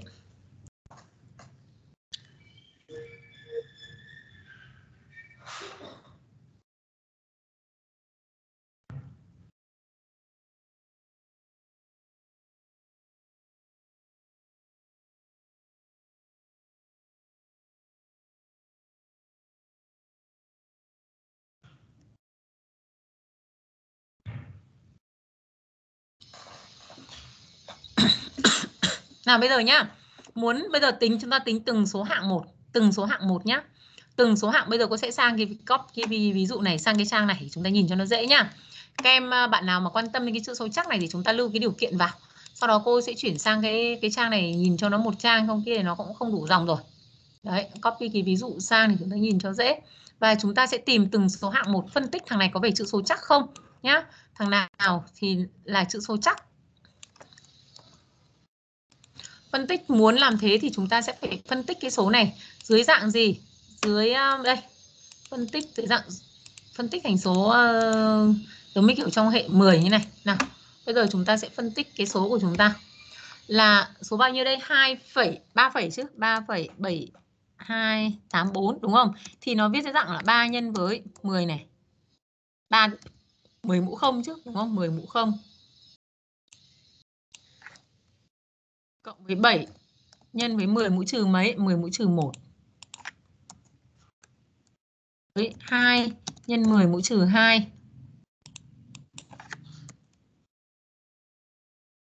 Cộng với 8 nhân 10 mũ trừ 3. À, cộng với 4 nhân 10 mũ trừ mấy nhỉ? 10 mũ trừ 4 đúng không? Rồi, ok. Cái sai số của chúng ta này sai số của chúng ta là bằng 0,0047. Rồi, thế thì cái điều kiện của chữ số chắc là gì? Đây chúng ta sẽ xem lại cái điều kiện của chữ số chắc đây. Cái vị trí này nó sẽ là chữ số chắc nếu như cái sai số của chúng ta đây, nếu như cái sai số của chúng ta mà nhỏ hơn cái này. Bây giờ chúng ta sẽ lấy vị trí thứ nhất, nào vị trí số 3. Vị trí số 3 thì là m trừ n cộng 1 của chúng ta là bằng mấy? Là bằng 0 nhá đúng không? Các em lưu ý cho cô từng vị trí này. M trừ n cộng một bằng không, đây là tổng quát. Đây này, các em nhìn cho cô cái tổng quát. Cái tổng quát ở đây. Đây, tổng quát là cô lấy một cái hệ số bất kỳ, cô gọi là m trừ n cộng 1 nó cũng có thể là m m trừ 1 vân vân. Đây là lấy một cái hệ số tổng quát bất kỳ nằm ở giữa. Và cái vị trí số alpha là cái thằng đứng trước, được gọi là chữ số đáng tin. Nếu cái sai số nó nhỏ hơn một nửa cái này. Đấy. Nhá như vậy là chúng ta sẽ nhìn này đây chúng ta xét từng số số 3 này có phải không? À số 3 thì cái 1 phần 2 chúng ta xem nào. Cái sai số của chúng ta đây sai số này. Chúng ta biết cái sai số nha. Nào so sánh với cái số là 1 phần 2 1 phần 2 chính là 0,5 đúng không? Cô à, cách nó ra như này. Đây chúng ta sẽ so sánh cái số là 0,5 1 phần 2 là 0,5 nhân với 10 nào vị trí 3 chính là 10 mũ 0 là bằng 0,5 thì 0,0747 có nhỏ hơn không? Có nhỏ hơn. Vậy 3 là chữ số chắc vậy 3 là chữ số chắc. Nào tiếp tục 3 rồi. Chúng ta kiểm tra xem 7 có vẻ là chữ số chắc hay không? 7 thì chúng ta lại lấy sai số này 0,047 Đúng không? Và chúng ta sẽ so sánh với thằng 0,5 1 phần 2 chính là 0,5 nhá. 0,5 nhân với cái gì? Đây là phẩy không phải là chấm. Nha. 0,5 nhân với thằng 7 đi với 10 mũi trừ 1 là nhân với 0,1 10 mũi trừ 1 thì nó sẽ bằng 0,05 0,047 vẫn bé hơn 0,05 vậy 7 ở đây vẫn là chữ số chắc 7 là chữ số chắc. Nào tiếp tục chúng ta liệt đến số thứ hai. Số thứ hai này, số 2 này, sai số của chúng ta là cái số này. Đúng không? Nào chúng ta sẽ so sánh với vị trí số 2 chính là bằng 0,5 nhân với 10 mũ trừ mấy? 10 mũ trừ 2. Đây cô viết cụ thể như này nhá. 10 mũ trừ 2, 10 mũ trừ 2 của chúng ta đúng không? Là bằng 0 như vậy bằng 0,5 nhân với 0,01 đúng không? Bằng 0,005. Ờ, có đúng không nhỉ? 0,047 nhỏ hơn hoặc bằng 0,372 số sắp xỉ 0,2 ờ, trừ 1 thì cô kiểm tra nhé xem là 0, này 0,5 nhân 0,01 là bằng 0,005. Thế thì 0,005 thằng 0,047 nhé. Thì một mặt nào đấy nó sấp xỉ bằng 0,047 nếu chúng ta làm tròn lên thì nó cũng bằng. Vì vậy cái này vẫn có thể gọi là chắc cũng được. Nó nhỏ hơn hoặc bằng theo nguyên tắc làm tròn. Các em lưu ý cho cô, theo nguyên tắc làm tròn. Nhá, thằng này nếu làm tròn lên thì vẫn được. Thế nên là nó vẫn có thể gọi như là bằng nếu theo nguyên tắc làm tròn. Vậy thằng này vẫn là chữ số gì? Vẫn là chữ số chắc. Nào bây giờ đến số 8 là cái sai số theo nguyên tắc làm tròn nhá. Bởi vì thực ra thì thêm một cái số nó cũng không ảnh hưởng theo nguyên tắc làm tròn thì nó vẫn có thể sắp xỉ. Ở đây 0,005 thì thằng này các em làm tròn lên thì nó vẫn vẫn là như thế thôi. Thằng này nó sẽ là bao nhiêu nhỉ? Nó là 0,5 nhưng nhân với 10 mũ trừ mấy? 10 mũ trừ 3. Thì nó sẽ bằng là 0, 10 mũ trừ 3 là 3 con, thêm con nữa là con 5. Như vậy thằng này là có bé nữa không? Không, mà lớn hơn hẳn rồi. Lớn hơn hẳn. Vậy thằng này không phải là chữ số chắc. vậy cái số 3,7284 là chúng ta lấy nó có mấy chữ số chắc? Có 3 chữ số chắc 372 hay còn gọi là 372 là chữ số đáng tin, còn 8 và 4 từ 8 đã là đáng ngờ rồi, không phải là chữ số chắc thì tất cả các đằng đằng sau của nó sẽ là không phải là chữ số chắc, chúng ta không cần phải tính nữa. Thế còn thằng này thực ra nó sấp xỉ đấy, nó sấp xỉ chúng ta vẫn có thể gọi được. So sánh với 0,05 thì thằng này chúng ta làm tròn lên, đây là 7, làm tròn lên vẫn có thể gọi là chữ số chắc được nhé. Vẫn có thể gọi là chữ số chắc được. Không đến nỗi là quá lắm. À nó bé hơn, ừ đúng rồi, nó bé hơn, nó bé hơn thật mà. Cô nhầm này đầu óc làm sao? Nó bé hơn không nó bé hơn. Bé hơn bé hơn một chút, còn làm tròn thì nó vẫn là bằng. Vậy đây vẫn là chữ số chắc nhé đấy là chữ số chắc. Đấy, ba cái chữ số đấy là chữ số chắc.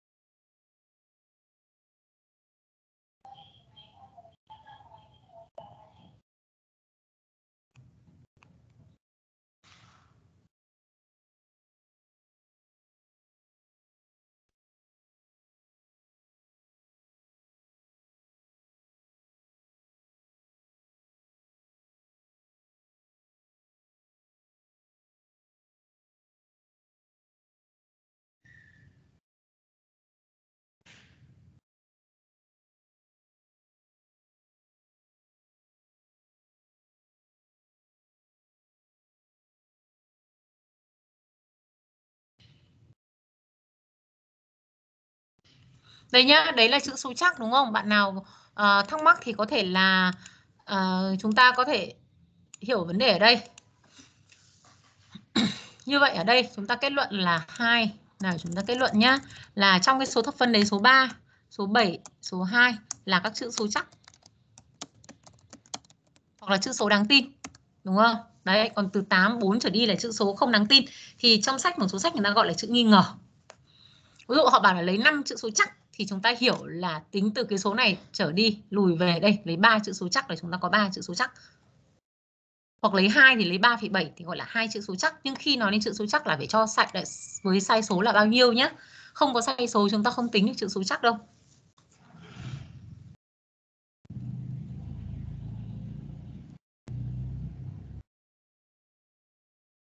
Thế thì hôm sau thì à, sẽ là chúng ta sẽ à, ờ, thì ngày mai à, hôm thứ năm ấy chúng ta kiểm tra là bằng trắc nghiệm các em lưu ý nhé. Trắc nghiệm thì các em sẽ không phải trình bày nhưng hôm đấy tất cả các bạn phải bật cam lên cho cô nhé. Phải bật cam nhé, bạn nào không có cam cô cho không không không cô không cho dự thi đâu. Không có cam cô không cho dự thi đâu vì chúng ta bây giờ là có cam là bắt buộc rồi vì chúng ta thi kết thúc học phần để chúng ta bắt buộc chúng ta phải có cam. Đấy, các em lưu ý là như thế. Và cái trắc nghiệm thì chúng ta bấm ra giá trị gần nhất với kết quả nào thì chúng ta sẽ chọn cái kết quả đó. Thế còn đi thi kết thúc học phần thì sẽ là thi tự luận nhé.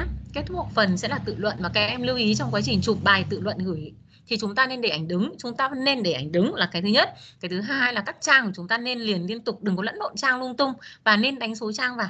Nên đánh số trang trong bài thi vào trong trường hợp chúng ta thi tự luận và chúng ta nên chọn cái bút mực nào nó rõ nét.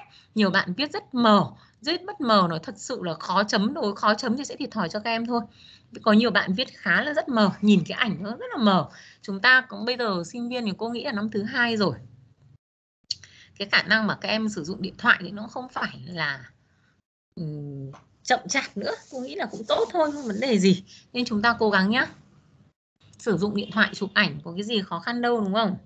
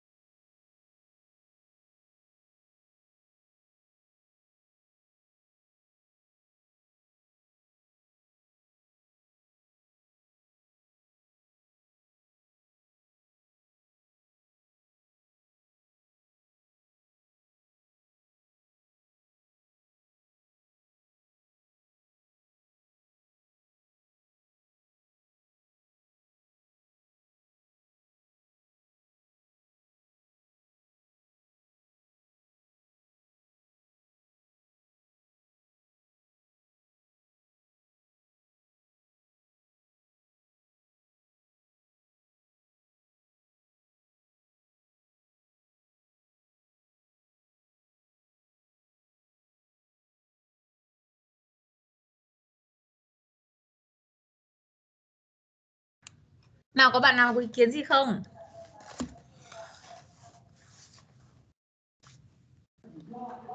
Cô ơi khi mà bài 6 chương đầu tiên ạ. Ừ.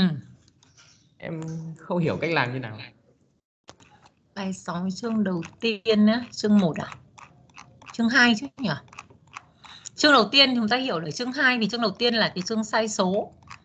Sai số đấy thì thông thường bài 6 nghiệm dương nhỏ nhất nhá nghiệm dương nhỏ nhất thì em sẽ xét em tìm một cái khoảng cách ly khoảng cách ly của à? nó bài 6 à À, bài 6 hệ thống hệ phương trình thì cô bảo là bỏ cái này ờ, lược bỏ mà chúng ta không giải hệ, không cần phải chúng ta có học giải hệ đâu.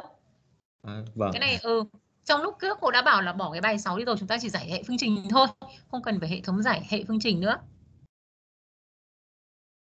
Chúng ta chỉ giải phương trình thôi, không cần phải giải uh, giải hệ phương trình đâu.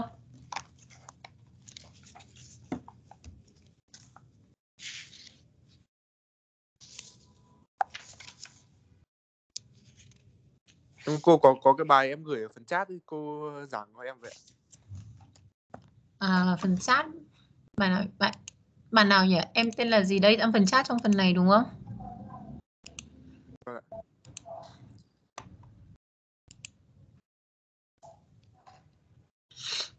Trời ơi, lập đa sức nội suy, lập đa sức nội suy nhá. Thì sau đó thì chúng ta tính đúng đạo hàm thì chúng ta có đa thức rồi, cái đạo hàm bậc 3 lên và tính đây là 1 2 3 bậc 3 đây tính f phẩy. F phẩy thì chúng ta đạo hàm thằng này là đa thức bậc 3 mà.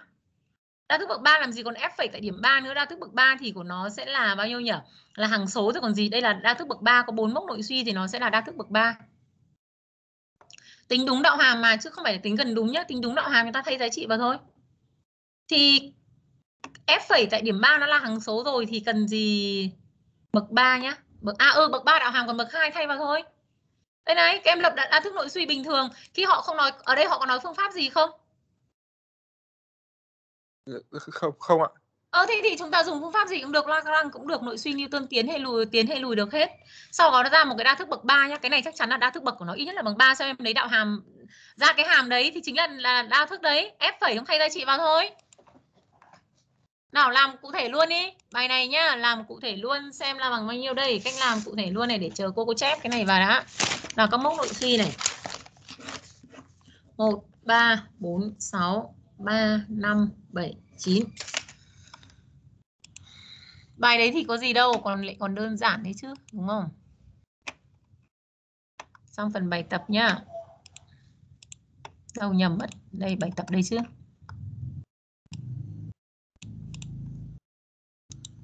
Ơ, thì lúc nãy là cô làm vào phần gì nhỉ? Thì lúc nãy là cái sai số là cô đang là à cái sự số chắc là cô làm ở trên kìa. À? Nào, bây giờ cái bài này là chúng ta lập đa thức nội suy nhá. Đa thức nội suy chính là sắp xỉ cái hàm đấy gì còn gì?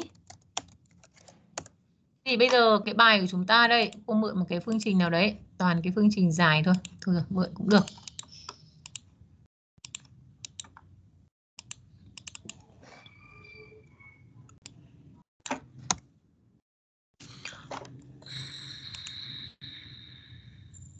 Thằng này là 4, 5. 5 column đúng không? 5, hai row này. Rồi, đây là x gì? Đây là y nhá. x gì là bằng 1 này. 3 này. 4 này. 6 này. Bây giờ các em lập đa thức nội suy đi. 3 này 5 này à, làm xem trên mạng ấy thì các em nhớ rằng cũng chỉ tham khảo thôi bởi vì cái chương trình này có những trường nó sẽ học hơi khác với trường mình một chút họ sẽ học sâu hơn về phía sau đúng không? Chúng ta học cũng không phải quá phức tạp đâu. Thế thì ở lập đa thức nội suy ở đây thì chúng ta sẽ lập đa thức nội suy Lagrange nhé làm theo phương pháp Lagrange nhé đỡ phải lập ờ, tổng hiệu. Đâu nhỉ? Sai số phương pháp Berle thì chúng ta sẽ lấy cái Lagrange cơ bản.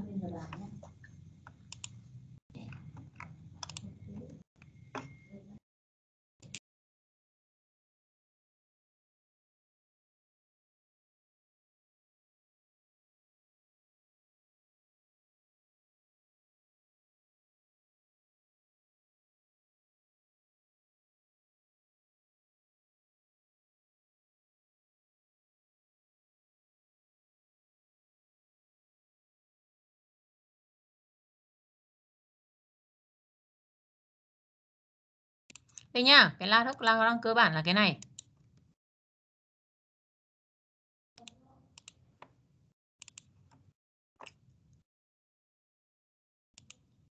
Đây, đúng không?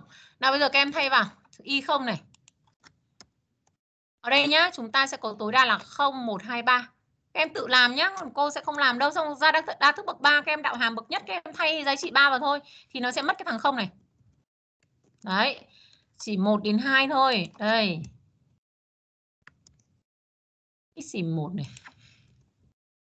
Này là 2 đúng không?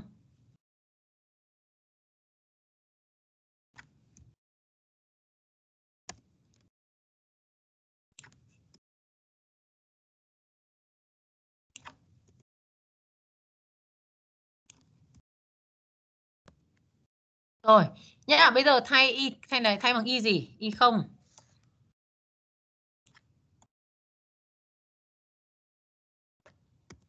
Rồi, thằng này bằng bao nhiêu đây? Bằng này, cô thay trực tiếp nhá, thay trực tiếp không các em sẽ tự nhân ra. Nào x gì trừ x gì 1 thì là x gì? X gì 1 đây là 3 nhá. Tiếp này. Nhân với x gì? Trừ 4. X gì? Trừ 6. Rồi, tiếp tục là x gì 0 của chúng ta là bằng bao nhiêu? Là bằng 1. 1 trừ 3 nhân với 1 trừ 4 nhân với 1 trừ 6. Rồi, đấy, đấy là L0 này.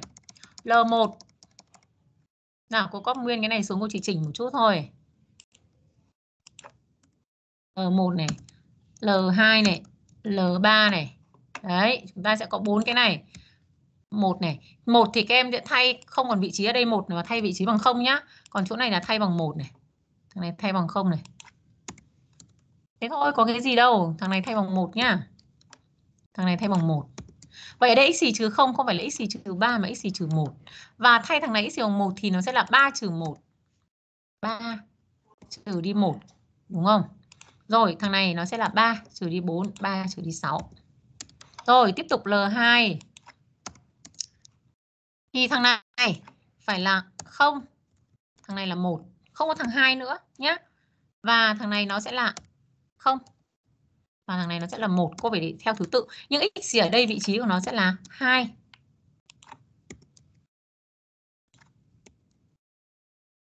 Rồi, x gì trừ x gì không là x gì trừ một.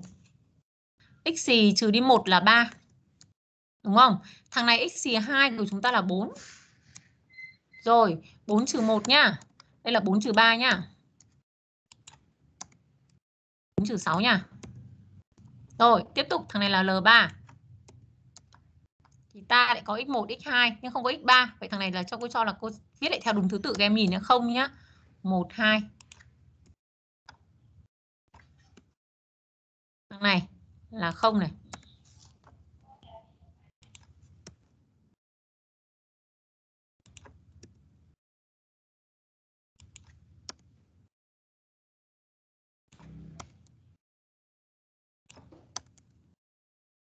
X xì trừ đi 0 là trừ đi cho 1.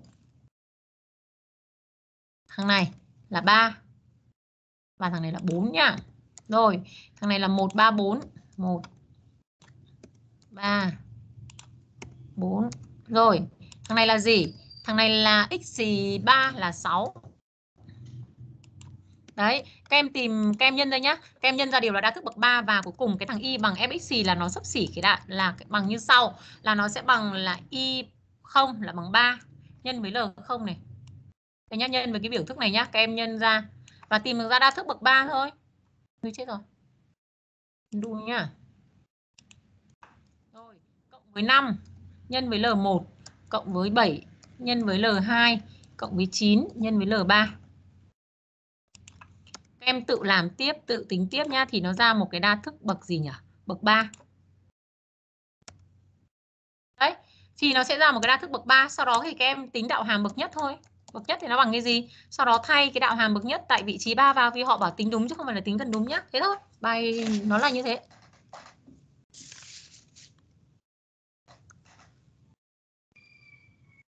Em cô thấy tính tính gần đúng là như nào? Đây là tính đúng. Là các em thay giá trị vào.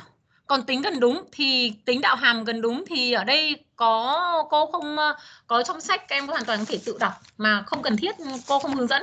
Còn bạn nào cần thì cô sẽ hướng dẫn tính đạo hàm một cách gần đúng. Nhưng thông thường tính đạo hàm này là nó chỉ đạo hàm nhắc nó qua thành bậc hai và chúng ta hoàn toàn có thể tính được. Vì nó là giá trị của đa thức bậc hai cái phần mà tính đạo hàm gần đúng thì nó đơn giản lắm. Tính gần đúng đạo hàm thì nó khá là đơn giản cũng không không không có gì uh, phức tạp cả còn đối với bài kiểm tra thì các cô sẽ không hỏi cái vấn đề là tính đạo hàm gần đúng chỉ tính sinh tích phân thôi. Vì tính đạo hàm gần đúng có cái gì đâu, bạn nào cần thiết thì cô sẽ chỉ còn không không không cần thiết thì thôi. Vì cái phần này trong sách nó chỉ có một trang thôi và các em hoàn toàn có thể đọc và hiểu được, nó cũng không nên quá phức tạp đâu. Tính đạo hàm gần đúng đã công thức đạo hàm cấp 1 thì cũng chẳng có gì cả. Chúng ta thay trực tiếp vào cũng được còn đây là họ bảo tính đúng tính đúng là chúng ta thay giá trị vào chúng ta tính. Nếu đúng theo các bước ấy chúng ta thay vào và sử dụng cái sơ đồ Hockney để tính đa thức nhưng thông thường của bạn nào sử dụng đa thức uh, uh, sơ đồ Hockney đâu?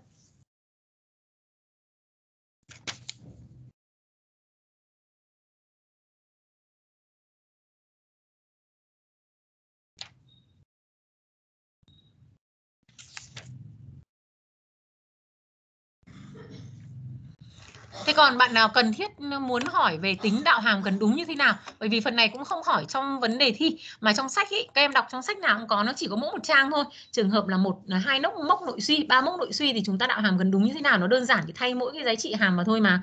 Có gì đâu bạn nào thích thì cô sẽ uh, biết còn không không không thích thì thôi nhá. Nếu bạn nào hỏi thì tiện thể đây.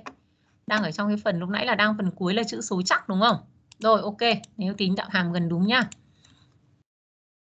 còn đấy là bài của bạn à, bạn bạn Phú hỏi là tính đúng, chứ không phải tính gần đúng. Đúng là các em thay giá trị cụ thể vào, còn tính gần đúng là không không không phải thông qua đạo hàm. Tính gần đúng là không thông qua đạo hàm, gọi là phương pháp số nhá. Nào, bây giờ chúng ta để tính.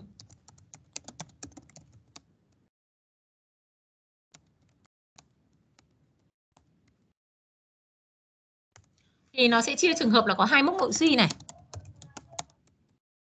sách thì nó cũng chỉ làm cho đến ba mốc nội suy thôi chứ cũng không có nhiều. Hai mốc nội suy. À, mốc nội suy là chúng ta sẽ có cái giá trị như lúc nãy ấy. Đây. Nguyên tắc thì nó vẫn lập cái đa thức nội suy thôi nó sấp xỉ. Nguyên tắc ví dụ đây xóa hết cái phần dưới nha. Hai mốc nội suy nghĩa là ở đây nó chỉ có hai mốc là giá trị x xì không và giá trị x 1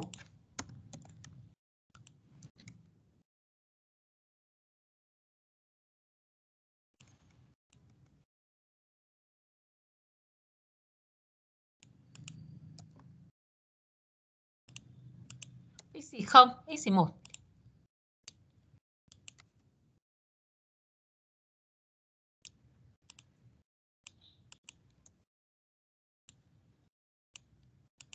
Đấy, đây là có hai mốc nội suy đúng không? Hai mốc thì là n bằng 1. Thế trường hợp mà có hai mốc nội suy, đây hai mốc nội suy thì cái đa thức nội suy của cái cái tính đạo hàm gần đúng của chúng ta là như thế nào? Thì chúng ta sẽ phải là, về nguyên tắc là các em sẽ tìm cái đạo hàm dưới dạng cái mốc nội suy như vậy y sẽ bằng fx gì, đúng không? Thì đây f phẩy x gì? đây là tính gần đúng các em nhá. Tính gần đúng tại cái giá trị x gì bằng tại giá trị nào đấy? Tại giá trị nào đấy nhá. Cô lấy ví dụ, tính gần đúng thì ví dụ tại điểm x gì bằng x gì một chẳng hạn. Nếu tại điểm x gì không thì có hai mốc nội suy, tại điểm x gì không? Thì nó sẽ sắp xỉ bằng như sau. Đây là y1 trừ đi y0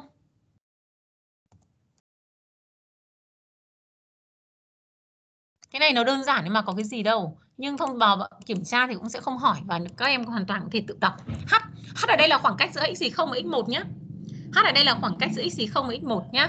H ở đây là khoảng x0 1. chúng ta hiểu luôn lấy x1 trừ x0 đi. Vì chúng ta chỉ có một thằng nội suy thôi, trừ x0 đây chính là số ra của hàm số chia cho số ra của đối số. Đấy nhá thế nếu f phẩy mà tại điểm x1 thì làm thế nào? Nó có sai số đi nhá. Nó có sai số đi nhá.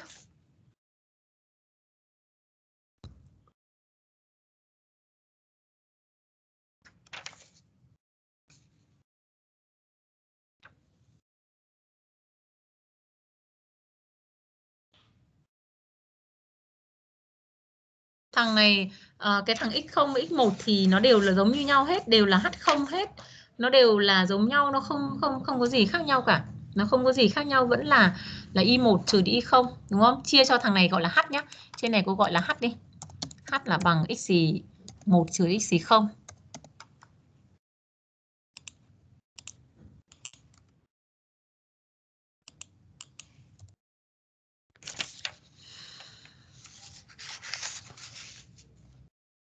Đây là trường hợp là đa thức nội suy Newton tiến hoặc lùi, trường hợp T của chúng ta là T bằng 1.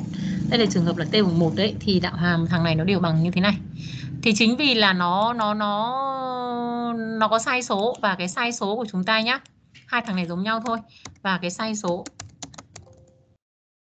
sai số epsilon quên mất cái viết ờ, tích vào đây. Cái này thì bạn nào thích thì hỏi thôi, còn không, cũng không nằm trong đề thi đâu. Ờ, bạn nào thích thì thắc mắc. Và các em nhớ rằng là cái môn này nó có một số cái nội dung khác nữa nhiều các trường nó học phức tạp hơn trường mình học là cũng không phải phức tạp. Nên một số cái nội dung khác nữa bạn nào xem ở trên mạng thì có thể nó có một số nội dung khác mà chúng ta không học. À, chúng ta không cần thiết các em xem trên mạng xem như sau là những cái nội dung liên quan đến chương trình của chúng ta học thì các em xem.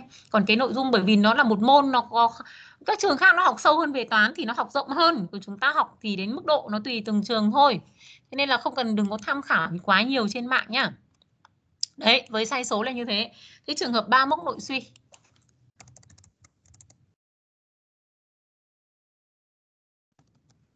Ba mốc nội suy thì cô không phải viết mốc nội suy ra nữa nhá. Cô chỉ viết công thức ra thôi.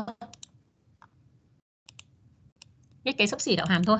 Nào, thì cái f phẩy tại điểm x gì không. Của chúng ta thì nó sẽ là như sau.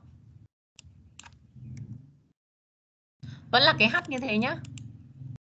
Nhưng trường hợp là ba mốc nội suy này của chúng ta là nó phải trường hợp là nên nó là cách đều đúng không? Đúng rồi nó, nó phải là cách đều đấy nhá.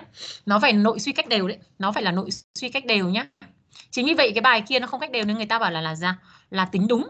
Tính đúng là các em thay giá trị vào. Còn tính gần đúng là theo cái phương pháp của cái môn này. Tính gần đúng. Còn tính đúng là chúng ta thay giá trị vào thôi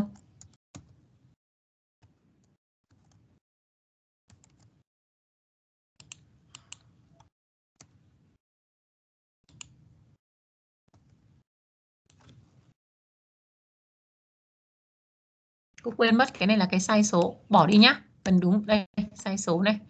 Phần kia đó là sai số. Như đó là y0 này. Xong y 1 y 2 đúng không? Theo thứ tự nó là y 1 y 2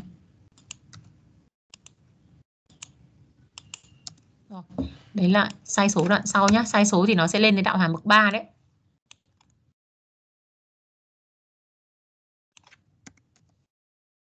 Tỷ lệ trừ y0 cộng với Y2.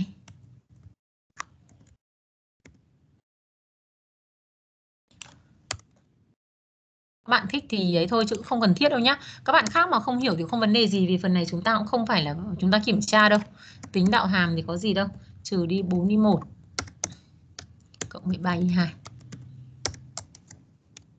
Đấy, đấy là tính đạo hàm. Đây là tính gần đúng nhá, nó có sai số. Còn bài của bạn à, Phú hỏi cô là tính đúng chứ không phải là tính gần đúng. Đấy các em đọc đa đức nội suy xong chúng đây tính đúng đạo hàm này, tính đúng nhé. Thì đạo hàm lên thay thế chị vào thôi, có gì đâu.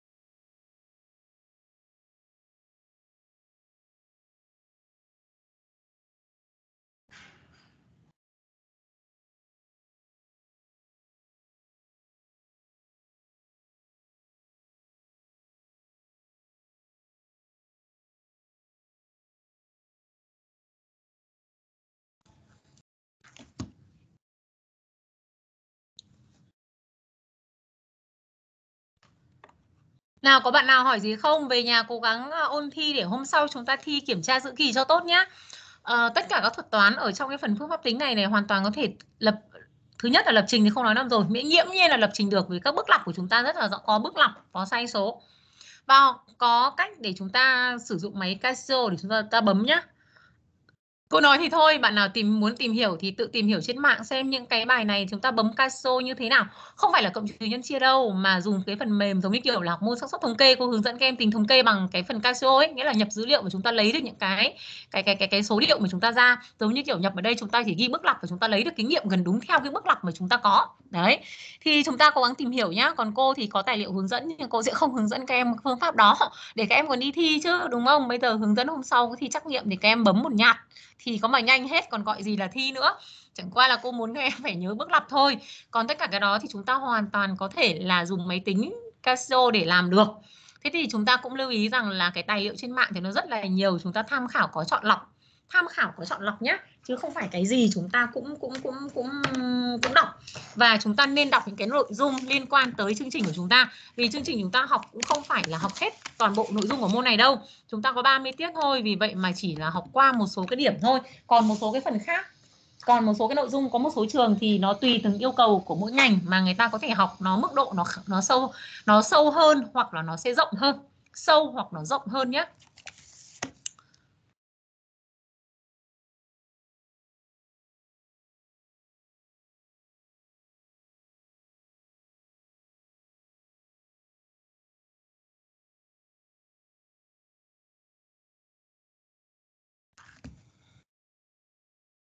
Nào bây giờ có vấn đề gì nữa không? Còn hỏi gì nữa không các em ơi? Còn hỏi gì nữa không nhỉ?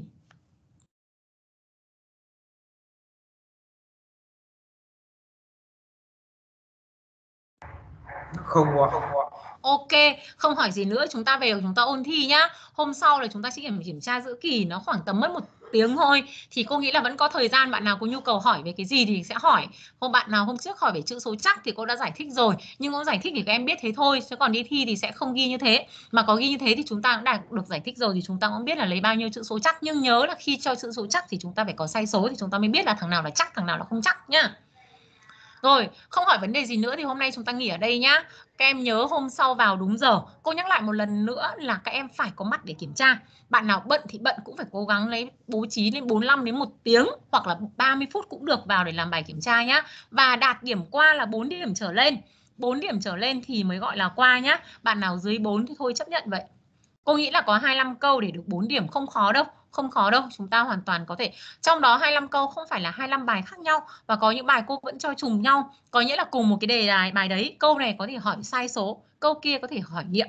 Đấy, thế nên là bạn nào làm bài nào thì nên để ra biết đâu câu sau lại lặp lại đúng cái bài đấy và tính sai số. Chúng ta chỉ bấm ra là chúng ta tích được kết quả thôi. Đấy, bởi vì cô mệnh cho 25 bài khác nhau, các em bấm đủ, tính đủ 25 bài bước bước lặp thì cô nghĩ là nó hơi dài. Đấy, thế chúng ta sẽ có những bài có khi các em chỉ bấm một tí là xong rồi nên chúng ta lưu ý nhé những cái bài mà tìm nghiệm của phương trình đại số thì chúng ta nếu đã làm nhá, thì chúng ta để đấy biết đâu có cái câu câu phía sau nó sẽ tự lặp lại thì sao? Rồi, không có vấn đề gì nữa thì chúng ta nghỉ. Còn các bạn có thể là à một số bạn điểm danh đúng không? Quên, đây, một bạn điểm danh muộn, quên không tích vào đây cái này lại. Có bạn Kiệt, bạn Đinh Minh Quang, Văn Tùng Lâm. Rồi, Vũ Tuấn Kiệt này. Úi giời, hơi bị muộn đúng không? Bạn Đinh Minh Quang này. Tuấn Kiệt này Đinh Minh Quang này và bạn Nguyễn Văn Tùng Lâm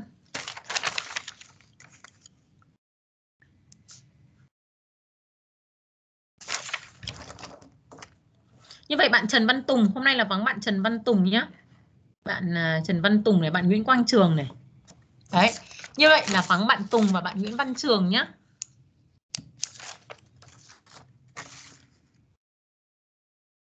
Nguyễn Quang Trường đúng không? Bạn Trần Văn Tùng này. Rồi, ok. Buổi hôm sau thì cô trả điểm danh nữa. Vì lý do làm sao điểm danh làm gì nữa, bài kiểm tra giữa kỳ nó sẽ hiện lên rồi. Bạn nào làm thì có điểm, không làm thì không có điểm. Rồi chúng ta nghỉ ở đây nhá. Cô chào cả lớp nhá. Chào tất cả các em nhá.